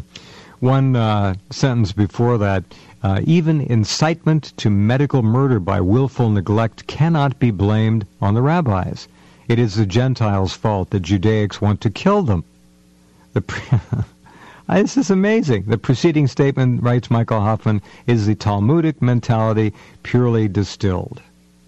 Wow. Which is a reference to Maimonides uh, ordering that uh, medical treatment be withheld from Gentiles right where it is politic to do so. It's very important to add that situation ethics to these various rabbinic enactments because they're very sensitive to whether or not Judaics have a supreme or inferior position in society, and they adjust their. Tactics mm-hmm. and laws accordingly. Well, as we as we look at the carnage in Gaza and Gaza City, uh, doctors are being killed, medics are being targeted. Uh, it just goes on and on. Water is cut off now to almost a million people. This is not human behavior, uh, Michael. I want to thank you again for your time. I know how busy you are, and it's it's been a real honor having you on for, for two conversations about the book Judaism Discovered, and uh, you're certainly welcome here anytime, Michael. Thank you. You've been very kind, Jeff. I really appreciate it. My pleasure. Take care. You too. All right, Michael Hoffman. Uh, do visit his website, and uh, if you are a student of contemporary history, of past history, if you just want the truth, this is book a book written by a master journalist. Okay, we'll be right back in just a war. First of all, it's not coverage of a war, uh, and secondly, it's not a war. This is a massacre, which has been, by the way, in the plans. If you've been watching the stories at Rense.com, and being planned for over a, apparently a year and a half. This uh, has been a, a, very high priority issue with the uh, the Zionist Israeli government. And let's give credit to many Jews, not only in Israel but around the world, who are protesting. A number of them joined in the anti-massacre protest in Toronto the other day. So there are good people of all faiths and all religions who uh, who can step aside and look at this as a human issue. These people are being liquidated, and it's quite clear that the ultimate plan for Gaza City is probably not too dissimilar from that which the United States visited upon Fallujah. And we do need to remember that while this country was killing one and a half million Iraqis under the Bush Cheney Halliburton regime, the media here, of course, essentially looked the other way. One and a half million people died in a Holocaust there. Granted, the number of Palestinians is quite small compared to that. Death is death, this program has always been an equal opportunity mourner. We condemn death and violence. And beyond that, we condemn evil in whatever form it takes. Uh, Michael, go ahead, please. Well, I wanted to begin with uh, uh, the point that I mentioned before we broke for the commercial break that the roots of Israeli violence are in the rabbinic texts, and uh, the, the most infamous of those texts is found in the saying of Rabbi Shimon ben Yohei, which is Tob Shib Goim Harag. Even the best of the Gentiles should all be killed. Is this tal- is this Talmudism, so to speak, to help our listeners understand, or is this is Torah? What is this? Well, they call it Torah, uh, but actually, there's uh, the Torah that they're referring to is the oral Torah, and it's no Torah at all. It's the tr- traditions of men, as uh, as Jesus clearly stated that, uh, mm-hmm. and as and as Isaiah stated, and as as all the great prophets, uh, Isaiah talked about those who are dealers who mix the wine with the water. And, and here he was talking about the elders who were in the habit of mingling a water tradition with the commands of God. And, and one of the um, confusions, I think, is, is that people who imagine that Israeli violence is motivated by the Old Testament. The Old Testament is anti-Israel, and uh, Rabbinic Judaism is anti-Old Testament. Rabbinic Judaism defames Noah, it defames Abraham, it defames Isaiah, and if we have enough time, I will give you the specifics of those. But in this case, I'm talking about the Talmud and really one of the founders, the foundational um, elders of Judaism, uh, Rabbi Shimon ben Yohei, who has a uh, holiday. Israeli government.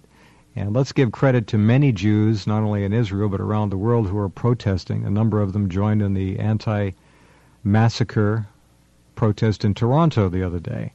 So there are good people of all faiths and all religions who uh, who can step aside and look at this as a human issue. These people are being liquidated, and it's quite clear that the ultimate plan for Gaza City is probably not too dissimilar from that which the United States visited upon Fallujah. And we do need to remember that while this country was killing one and a half million Iraqis under the Bush Cheney Halliburton regime, the media here, of course, essentially looked the other way. One and a half million people died in a Holocaust there. Granted, the number of Palestinians is quite small compared to that. Death is death. This program has always been an equal opportunity mourner. We condemn death and violence.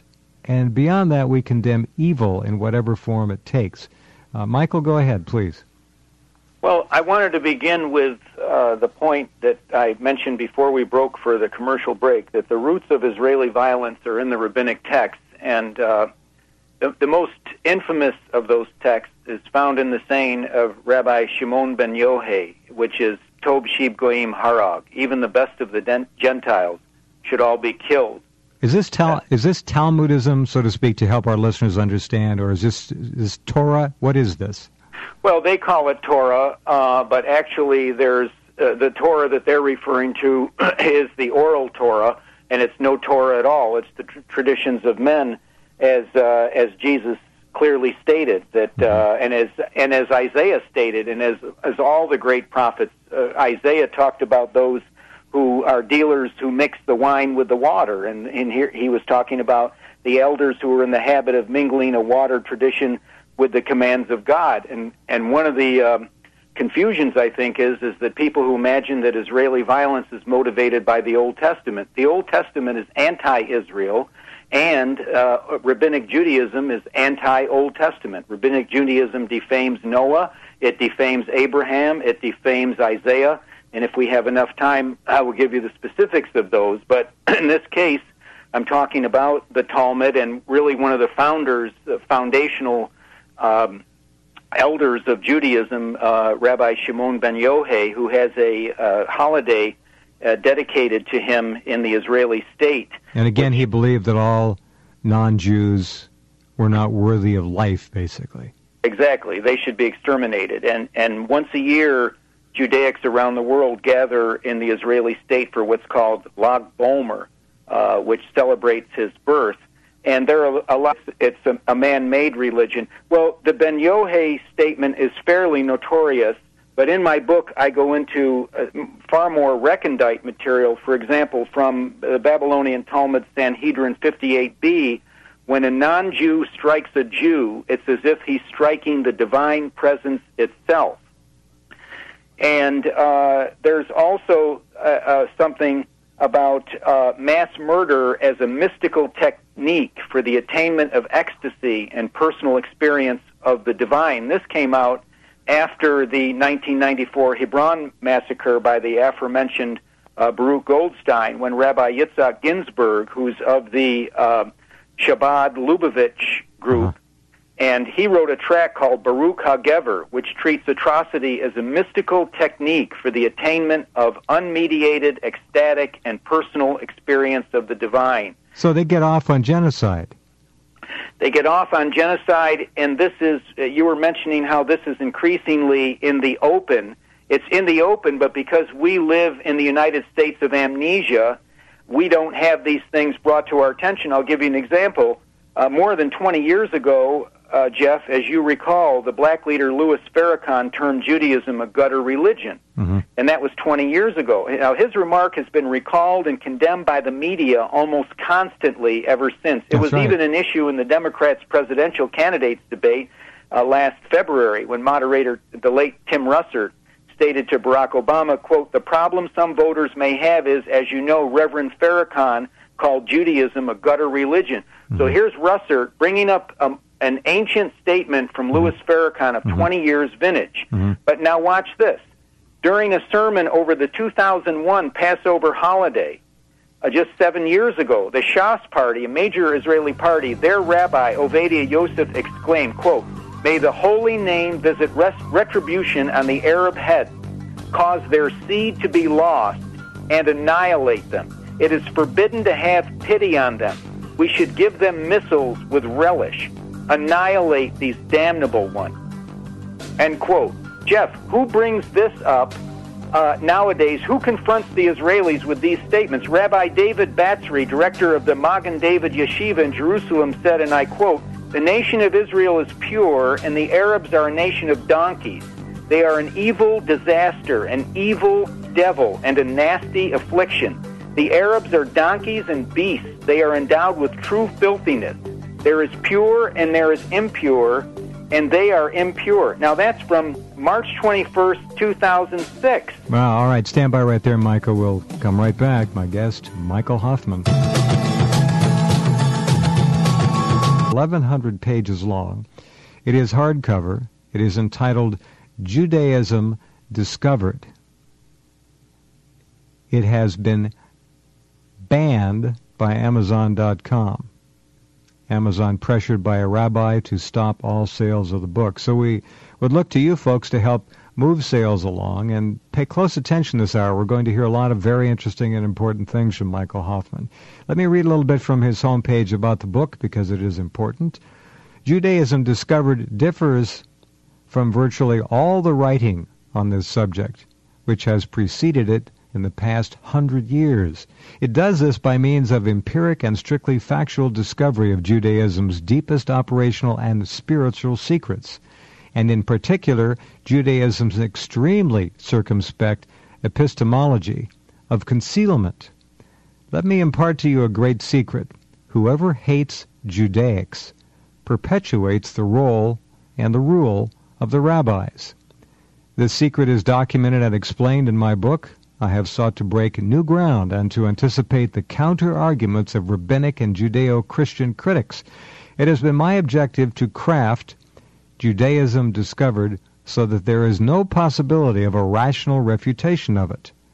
While it's true that the book's evidence and arguments can be twisted, misrepresented, and demonized with the usual underhanded ADL style smears and falsification, the information in Judaism discovered cannot be easily disarmed because much of it pertains to epistemology, viz., Judaism's knowledge of itself and the ways in which it responds to discovery.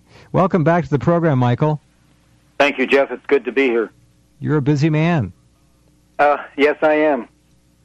We have up at uh, the guest section at rense.com under Michael's name. His name goes right to his homepage.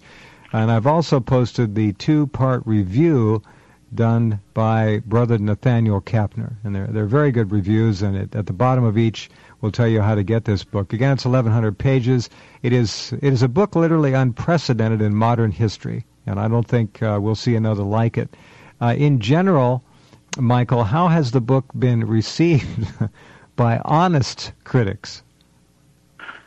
Well, it's really difficult to gauge the response because, in general, it's been blacked out in the uh, sphere of uh, the printed word and uh, publications that are what you would call uh, hard Uh-huh. copy. Yeah. Uh, online, the response has been very good, and in general, the sales have been strong, in spite of the fact that there's been a blackout in effect. Uh, because largely, what happens is the sales, I think, are based on word of mouth.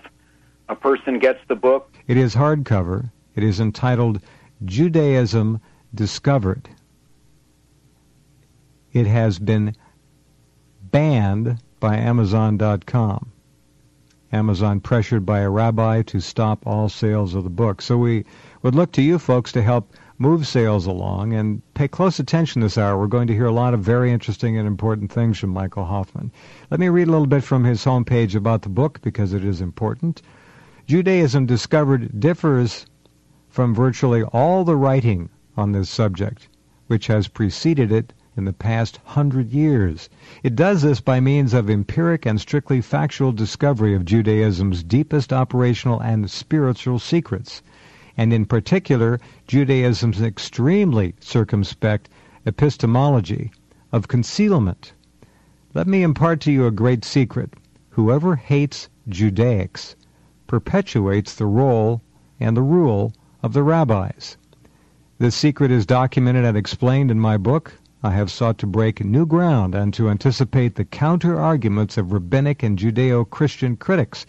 It has been my objective to craft Judaism discovered so that there is no possibility of a rational refutation of it. While it's true that the book's evidence and arguments can be twisted, misrepresented, and demonized with the usual underhanded ADL style smears and falsification, the information in Judaism discovered cannot be easily disarmed because much of it pertains to epistemology, viz., Judaism's knowledge of itself and the ways in which it responds to discovery. Welcome back to the program, Michael. Thank you, Jeff. It's good to be here. You're a busy man. Uh, yes, I am. We have up at uh, the guest section at Rense.com under Michael's name. His name goes right to his homepage. And I've also posted the two part review done by brother Nathanael Kapner. And they're, they're very good reviews. And it, at the bottom of each will tell you how to get this book. Again, it's 1,100 pages. It is, it is a book literally unprecedented in modern history. And I don't think uh, we'll see another like it. Uh, in general, Michael, how has the book been received by honest critics? Well, it's really difficult to gauge the response because, in general, it's been blacked out in the uh, sphere of uh, the printed word and uh, publications that are what you would call uh, hard Uh-huh. copy. Yeah. Uh, online, the response has been very good, and in general, the sales have been strong, in spite of the fact that there's been a blackout in effect. Uh, because largely, what happens is the sales, I think, are based on word of mouth. A person gets the book, they find that it uh, meets their Eccles translation, which unfortunately, Random House stopped about uh, just a little bit more than midway through the uh, publication. Random House stopped it for reasons that have never been clear, and of course, we could speculate as to what those reasons are. But nonetheless, there are uh, 21 volumes of the Steinsaltz Talmud that are available out of what one could generalize and say approximately 35 volumes of the uh, Gemara. The Talmud is actually comprised of two sets of books the Mishnah, which corresponds to the oral tradition that Jesus confronted when it was still oral and hadn't been committed to writing, and then when Israel became really corrupt by crucifying their Messiah. As a symptom of that corruption, they committed this oral tradition, which had haunted them for centuries, to writing in the form of the Mishnah, thereby institutionalizing it. And then after the Mishnah, from the second to the fourth century onward, came the Gemara, and those books together are collectively known as the Talmud. But one of the things I try to point out in my book, Jeff, is that there are many more authoritative texts which have followed up on these, because uh, when you're the old saw about oh, what a tangled web we weave when first we practice to deceive. Well, the web of Judaism is very tangled indeed, and it goes all the way up to the Mishnah Berurah commentaries and uh, authoritative halakha which is still being written to this day. So you're actually talking about hundreds and hundreds Ah. of compendiums Mhm. of books related Wow. to literally millions of laws. Wow. That's a, ex- gigantic amount of material. All Yes, right. it's, a, it's an enormous compendium. And then what we try to focus on in the beginning of Judaism Discovered is on the roots of the halakha itself. In other words, to document what is the law, the halakha of Orthodox Judaism. It certainly isn't the Old Testament, as Jesus himself said in Mark chapter 7. You nullify the Word of God. You teach for doctrine the commandments of men because uh, it, it, that's what it actually is. It's the religion of men, the Torah Shebe'al Peh, which is their Torah, not the Torah of Yahweh. And uh, the roots of this uh, halakha are in the Mishnah, they're in the Gemara, they're also in the uh, Zohar, they're in the of the Kabbalah, they're in the Mishnah Torah of Maimonides, they're in the Tur, that's T-U-R, of the Rosh, Rabbi Asher ben Yechiel, and I could go on and on, the Shulchan Aruch of Joseph Caro, and many others of these, which are they're a living document to these people today, and they Sure. rule every aspect of their lives. One of the mm-hmm. things I point out in the book is how regimented Judaic women are, for example, with regard to their menstrual period and the time after the period Old Testament, as Jesus himself said in Mark chapter 7, you nullify the word of God. You teach for doctrine the commandments of men because uh, it, it, that's what it actually is. It's the religion of men, the Torah Shebe'al Peh, which is their Torah, not the Torah of Yahweh. And uh, the roots of this uh, halakha are in the Mishnah, they're in the Gemara, they're also in the uh, Zohar, they're in the of the Kabbalah, they're in the Mishnah Torah of Maimonides, they're in the Tur, that's T-U-R, of the Rosh, Rabbi Asher ben Yechiel, and I could go on and on, the Shulchan Aruch of Joseph Caro, and many others of these, which are they're a living document to these people today, and they Sure. rule every aspect of their lives. One of the mm-hmm. things I point out in the book is how regimented Judaic women are, for example, with regard to their menstrual period and the time after the period, how neurotic they have to be about any spotting of blood, how both the husband and wife have to be virtually psychotic in spotting this blood. The rabbi can be called in to examine the woman's uh, underclothing. And, I mean, the whole thing uh, it, it, is a sound like- compendium of, yeah. of insanity. And I've often said that Freud, the Freudian psychology, is actually directed at the Talmudic mentality Hmm. and not the Gentile mentality because most of his patients were coming out of this insane asylum and were victims of it. And that's where he got a lot of his really far out concepts about penis envy and Oedipus complexes and so forth. It comes straight out of a Talmudic Ah, mentality. remarkable. All right. Be right back with the uh, amazing scholar and historian Michael Hoffman.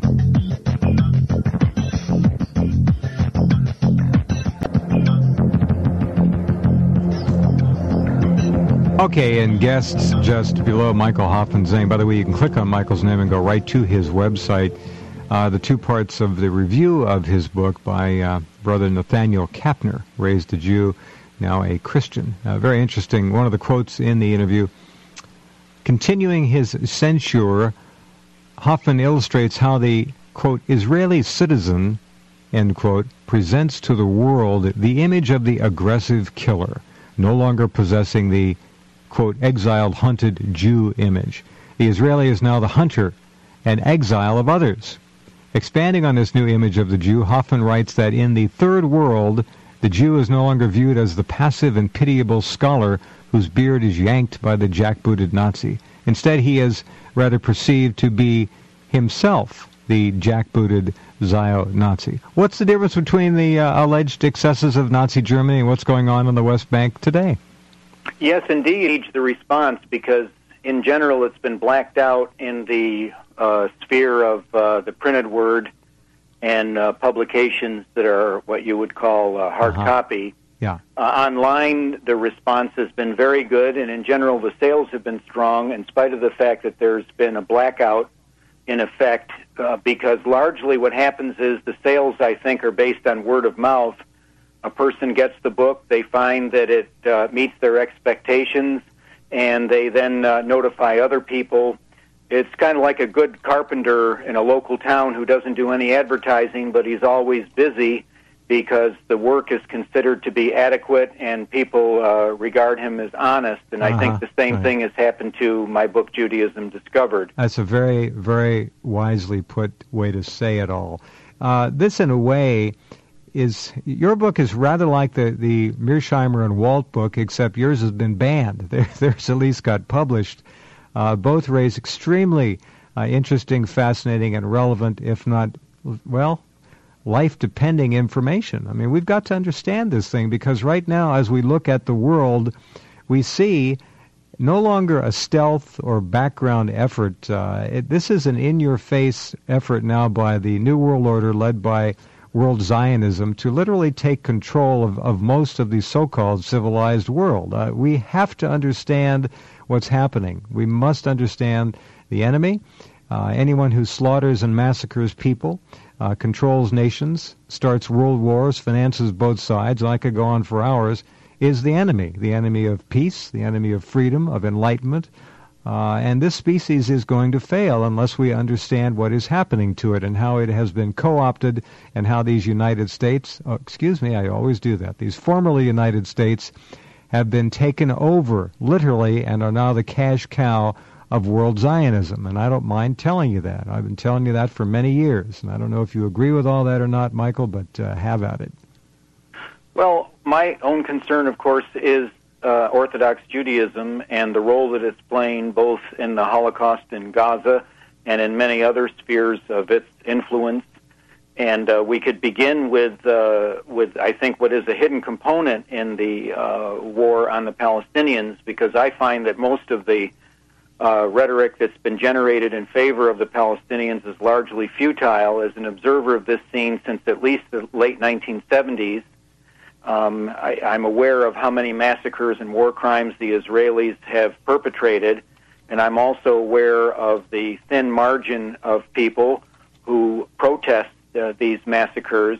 But I think the reason why we don't get anywhere with our protests and with our activism is is because we're original, and that's the Steinsaltz translation, which unfortunately Random House stopped about uh, just a little bit more than midway through the uh, publication. Random House stopped it for reasons that have never been clear, and of course we could speculate as to what those reasons are. But nonetheless, there are uh, 21 volumes of the Steinsaltz Talmud that are available out of what one could generalize and say approximately 35 volumes of the uh, Gemara.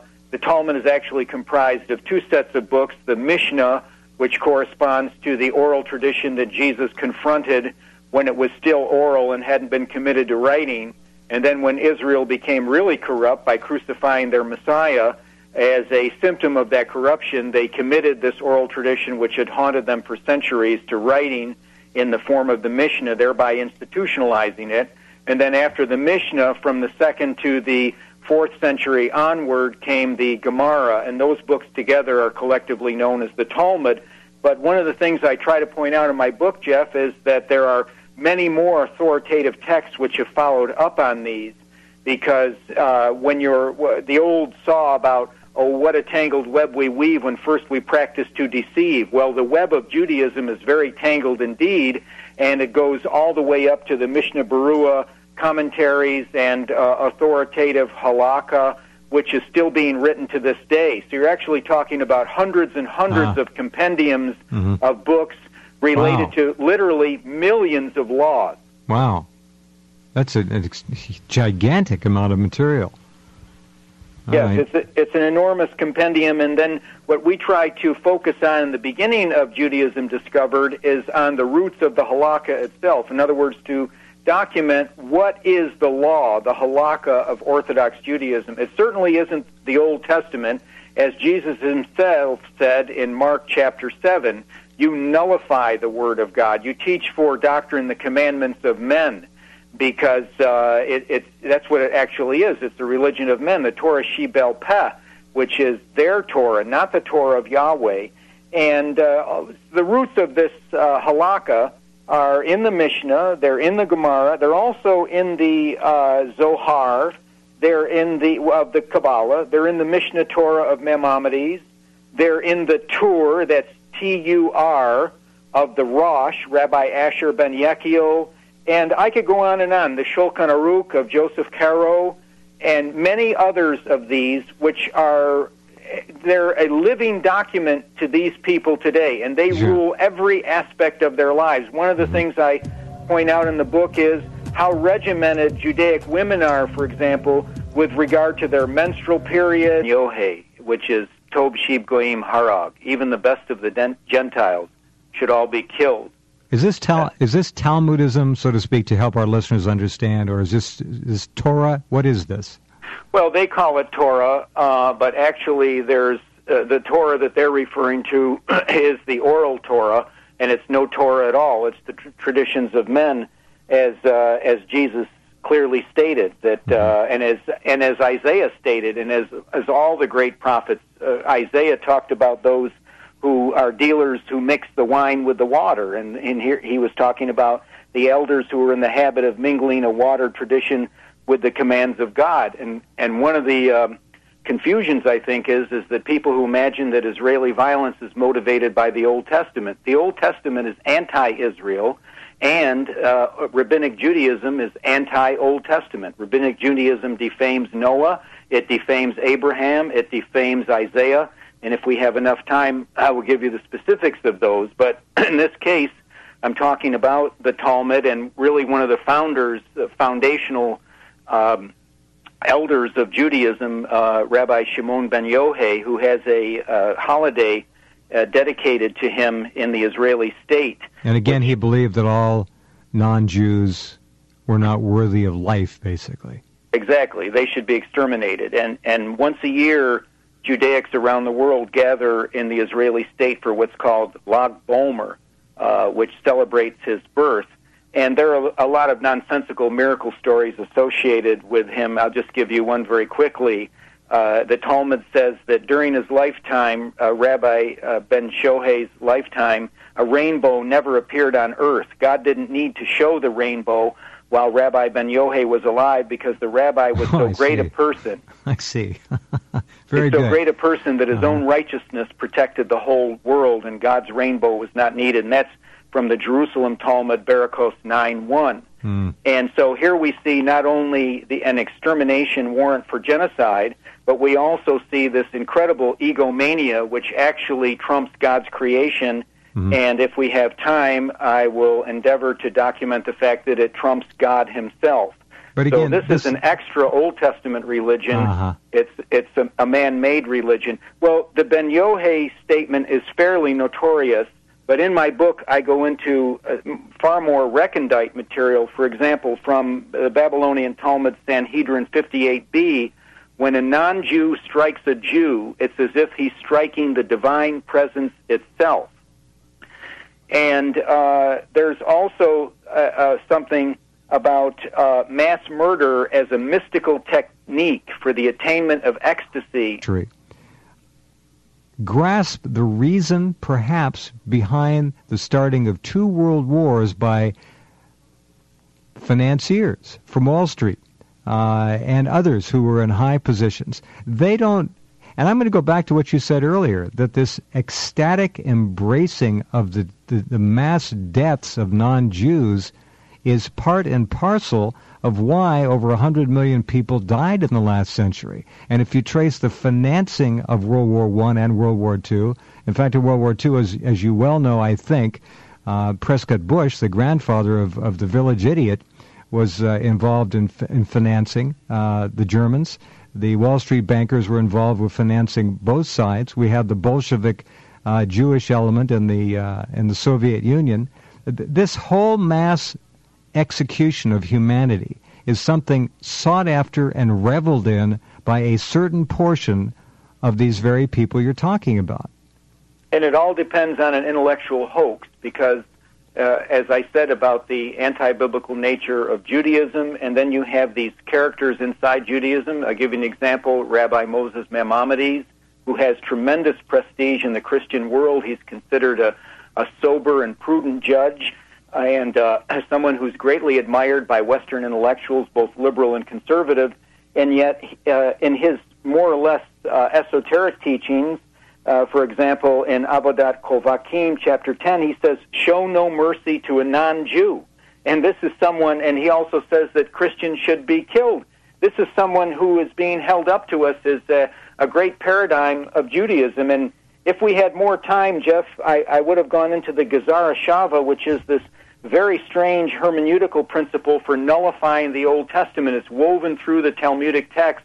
And a lot of people believe because rabbis have mastery of languages, and of course they're often very voluble and articulate, mm-hmm. that they think that that's a uh, stand in for genuine biblical erudition. And in fact, Judaism is a trap, as Jesus pointed out, for confusing people into this diabolical system where they actually know less about the Old Testament than a good, solid Christian scholar would because they're constantly deceiving themselves in order to mislead the Judaic people, who, as I try to point out in my book, and I think it's also been a thread that you've pursued, are the greatest victims of Judaism. The first and greatest victims oh, yeah. of Judaism are the Judaics themselves who are trapped inside the stultifying and sadistic system. Absolutely correct. Uh, would you like to come back? Surely. Uh, well, I've got openings on the uh, 13th and 14th. Why don't you let me know if either one of those will work for you in the next day or two, and we'll have you back. I'd love to continue the conversation, Michael. Well, thank you very much, Jeff. It, has been good. For example, from the Babylonian Talmud Sanhedrin 58b, when a non Jew strikes a Jew, it's as if he's striking the divine presence itself. And uh, there's also uh, uh, something about uh, mass murder as a mystical technique for the attainment of ecstasy and personal experience of the divine. This came out after the 1994 Hebron massacre by the aforementioned uh, Baruch Goldstein, when Rabbi Yitzhak Ginsburgh, who's of the uh, Chabad Lubavitch group, uh-huh and he wrote a track called Baruch HaGever, which treats atrocity as a mystical technique for the attainment of unmediated, ecstatic, and personal experience of the divine. So they get off on genocide. They get off on genocide, and this is, uh, you were mentioning how this is increasingly in the open. It's in the open, but because we live in the United States of amnesia, we don't have these things brought to our attention. I'll give you an example. Uh, more than 20 years ago, uh, Jeff, as you recall, the black leader Louis Farrakhan termed Judaism a gutter religion, mm-hmm. and that was 20 years ago. Now, his remark has been recalled and condemned by the media almost constantly ever since. It That's was right. even an issue in the Democrats' presidential candidates debate uh, last February when moderator, the late Tim Russert, stated to Barack Obama, quote, the problem some voters may have is, as you know, Reverend Farrakhan called Judaism a gutter religion. Mm-hmm. So here's Russert bringing up um, an ancient statement from Louis mm-hmm. Farrakhan of mm-hmm. 20 years vintage. Mm-hmm. But now watch this.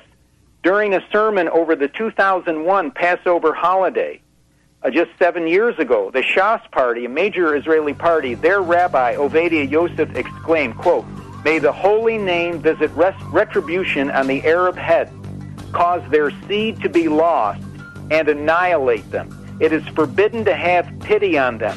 We should give them missiles with relish annihilate these damnable ones. End quote.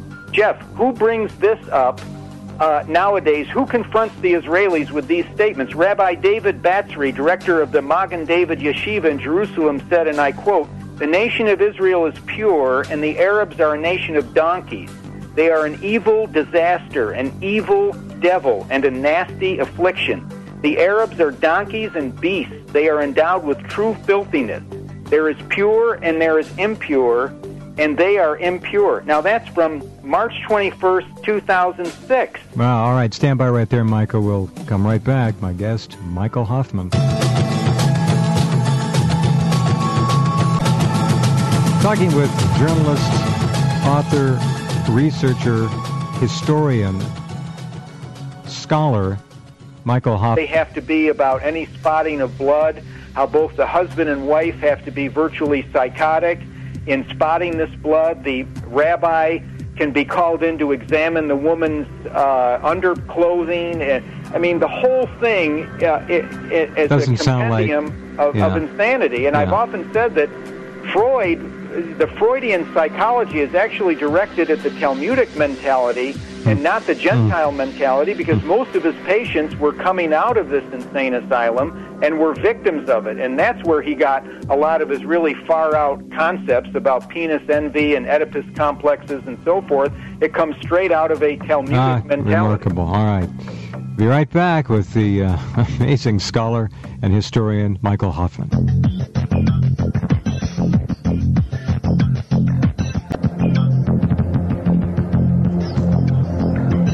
Okay, and guests just below Michael Hoffman's name. By the way, you can click on Michael's name and go right to his website.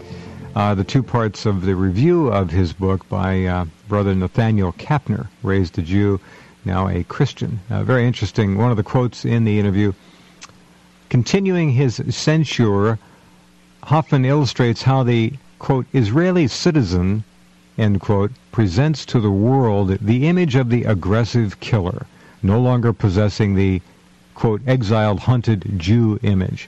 The Israeli is now the hunter and exile of others.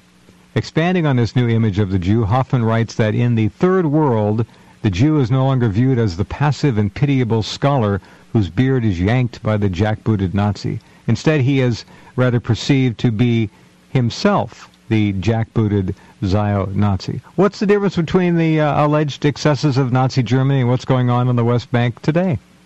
Yes, indeed. And also, what would be the difference between the Israeli and American policy toward civilian populations and what the Allies visited on uh, Japan and German civilian populations in World War II? I think that Precisely. there's a parallel there. Yeah.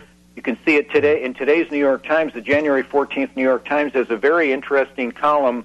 It's ladled with some doublespeak. It's by Tom Friedman, the great cheerleader of the Iraq War and basically a vigorous supporter of all the Israeli wars. But in his column today, Jeff, I, I recommend that everybody go on the New York Times website and take a peek at it. He's actually, uh, in a very subtle way, uh, somewhat indirectly, he's talking about the necessity of inflicting uh, collateral casualties on the Palestinians the way uh, the Israelis did it in Lebanon in 2006. He says, quote, the only long-term source of deterrence was to exact enough pain on the civilians.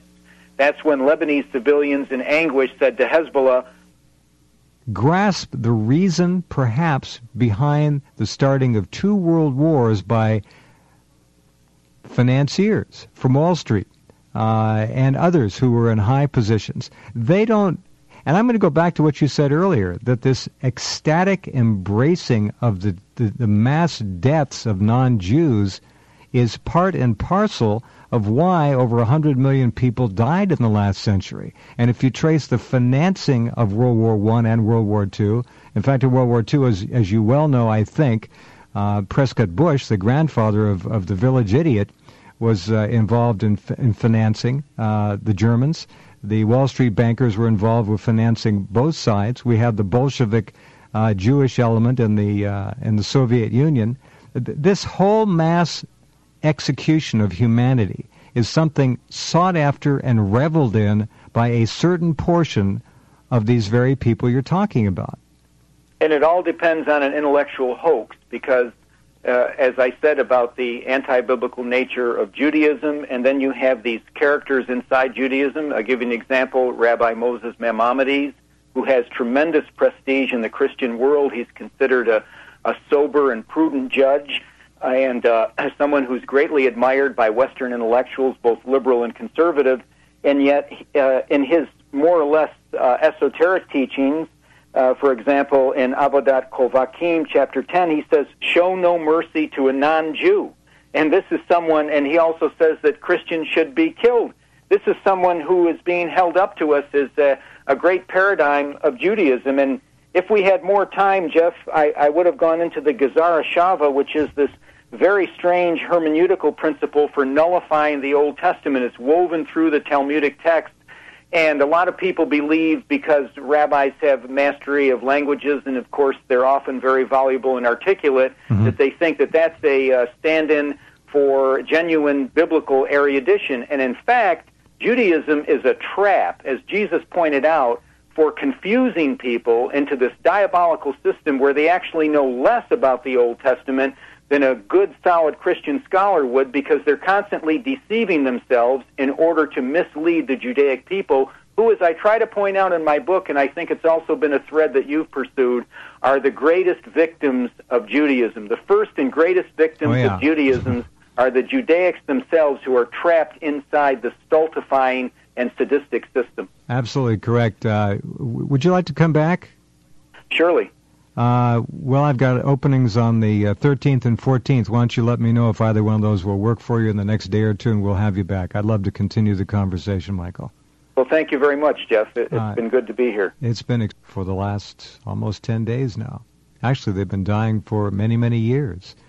Over 60, if you become realistic about this whole thing. My first guest tonight is, uh, in my opinion, uh, one of the world's pre- premier, if not preeminent, revisionist historians. He is an extraordinary journalist and a very brave and courageous man and a great American patriot. His name is Michael Hoffman. He is making a return visit tonight after far too long away from this program. He has a book that many of you may have heard about. If you haven't, let me tell you about it. It is 1,100 pages long. It is hardcover. It is entitled Judaism Discovered. It has been banned by Amazon.com.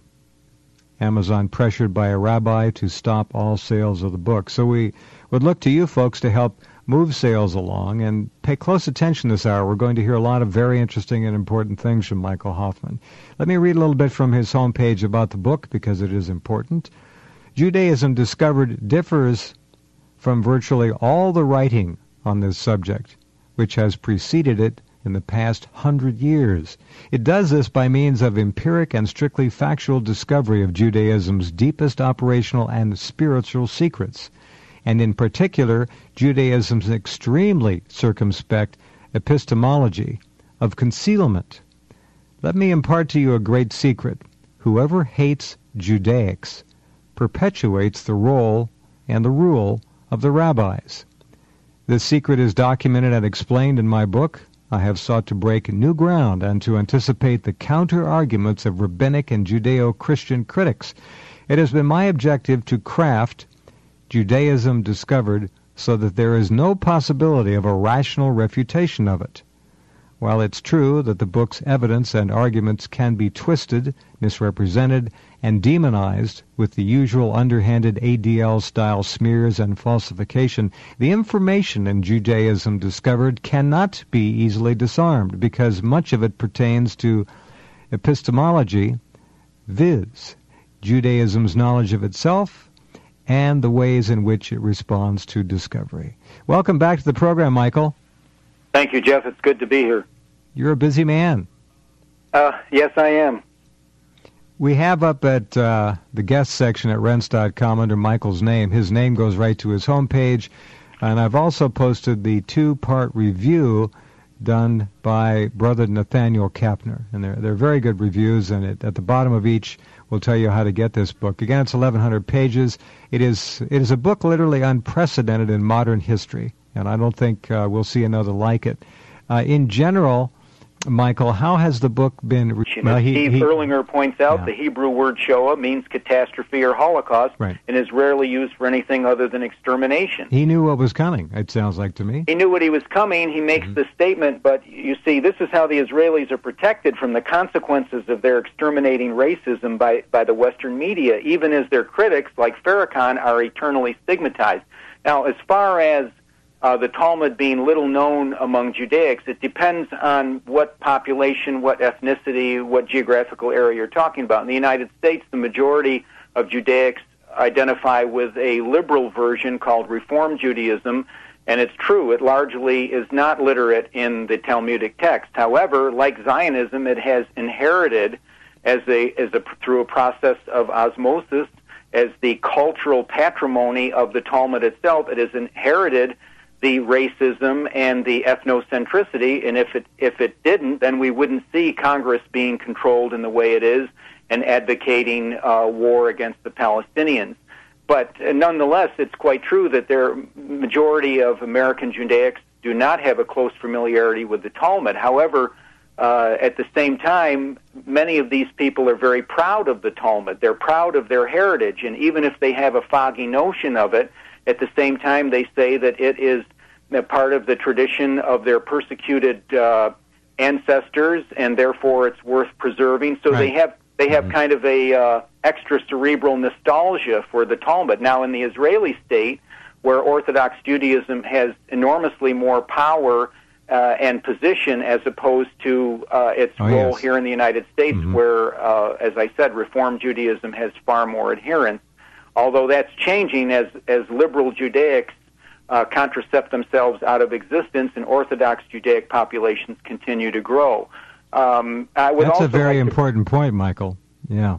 I'd also like to briefly address the idea of Judaics against Zionism. I think that where people are secular uh, Judaics, where they are not uh, attached to the Talmud or adherents of Orthodox Judaism, then I think that that can be sincere. However, when you have groups like the Neturei Karta and other Talmudic followers uh, who claim to be opposed to the uh, the Israeli project uh, for world supremacy, then I think this is where people are really being beguiled because they're not understanding the earlier and older model of Talmudic conquest. We have to go all the way back to uh, Bar Kokhba and his failed revolt. Uh, originally, the Judaics, and at that time they, they were not, as I call them, Judaics today because that's my um, way of signaling that they're counterfeit Jews and not the vast majority of them are not actually today. tells the whole story in uh, the words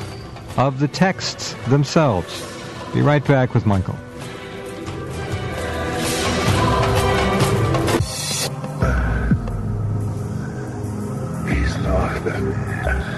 Visiting with Michael Hoffman and talking about uh, current issues, his book as a backdrop, not only for this issue, but for all issues uh, in the future and the past. This is the definitive book.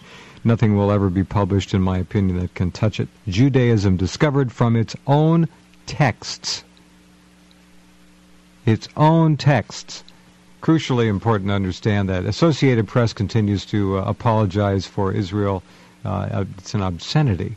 There's a story in the Telegraph uh, in the UK showing uh, Bibi Netanyahu saying Hamas must be removed from Gaza. This, of course, the ultimate exterminationist war hawk. And there's a photo, a large photo of him from AP, looking out the window of an Israeli kindergarten, said to be damaged by a rocket fired by Palestinian militants from inside the Gaza Strip. Now, this interesting picture because he's looking out an open window. Both frames of the window, which are sliders left to right, are intact. The glass isn't even broken. uh, the little bit of the mortar on the outside is chipped, and he's got this t- terribly d- dour look on his face, and it goes on and on. Uh, we've all we've seen it. The um, so-called Hamas uh, fighters, uh, soldiers, are gunmen. Uh, it's all a matter of semantic manipulation. They're gunmen. Gunmen. What are gunmen? They're not freedom fighters. They're not resistance fighters. They're not fighting to try to secure what little tiny foothold on uh, on a human living situation that they have.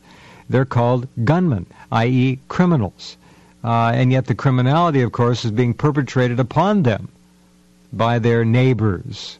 The white phosphorus dropping, new weapons testing Israeli so-called defense forces. Nothing defensive about what's going on here now at all, in the opinion of most of the world. Um, okay, let's go back to your book now and talk about the part of the title, the subtitle, of, or well, it's not a subtitle, but the second part of the title, from its own texts.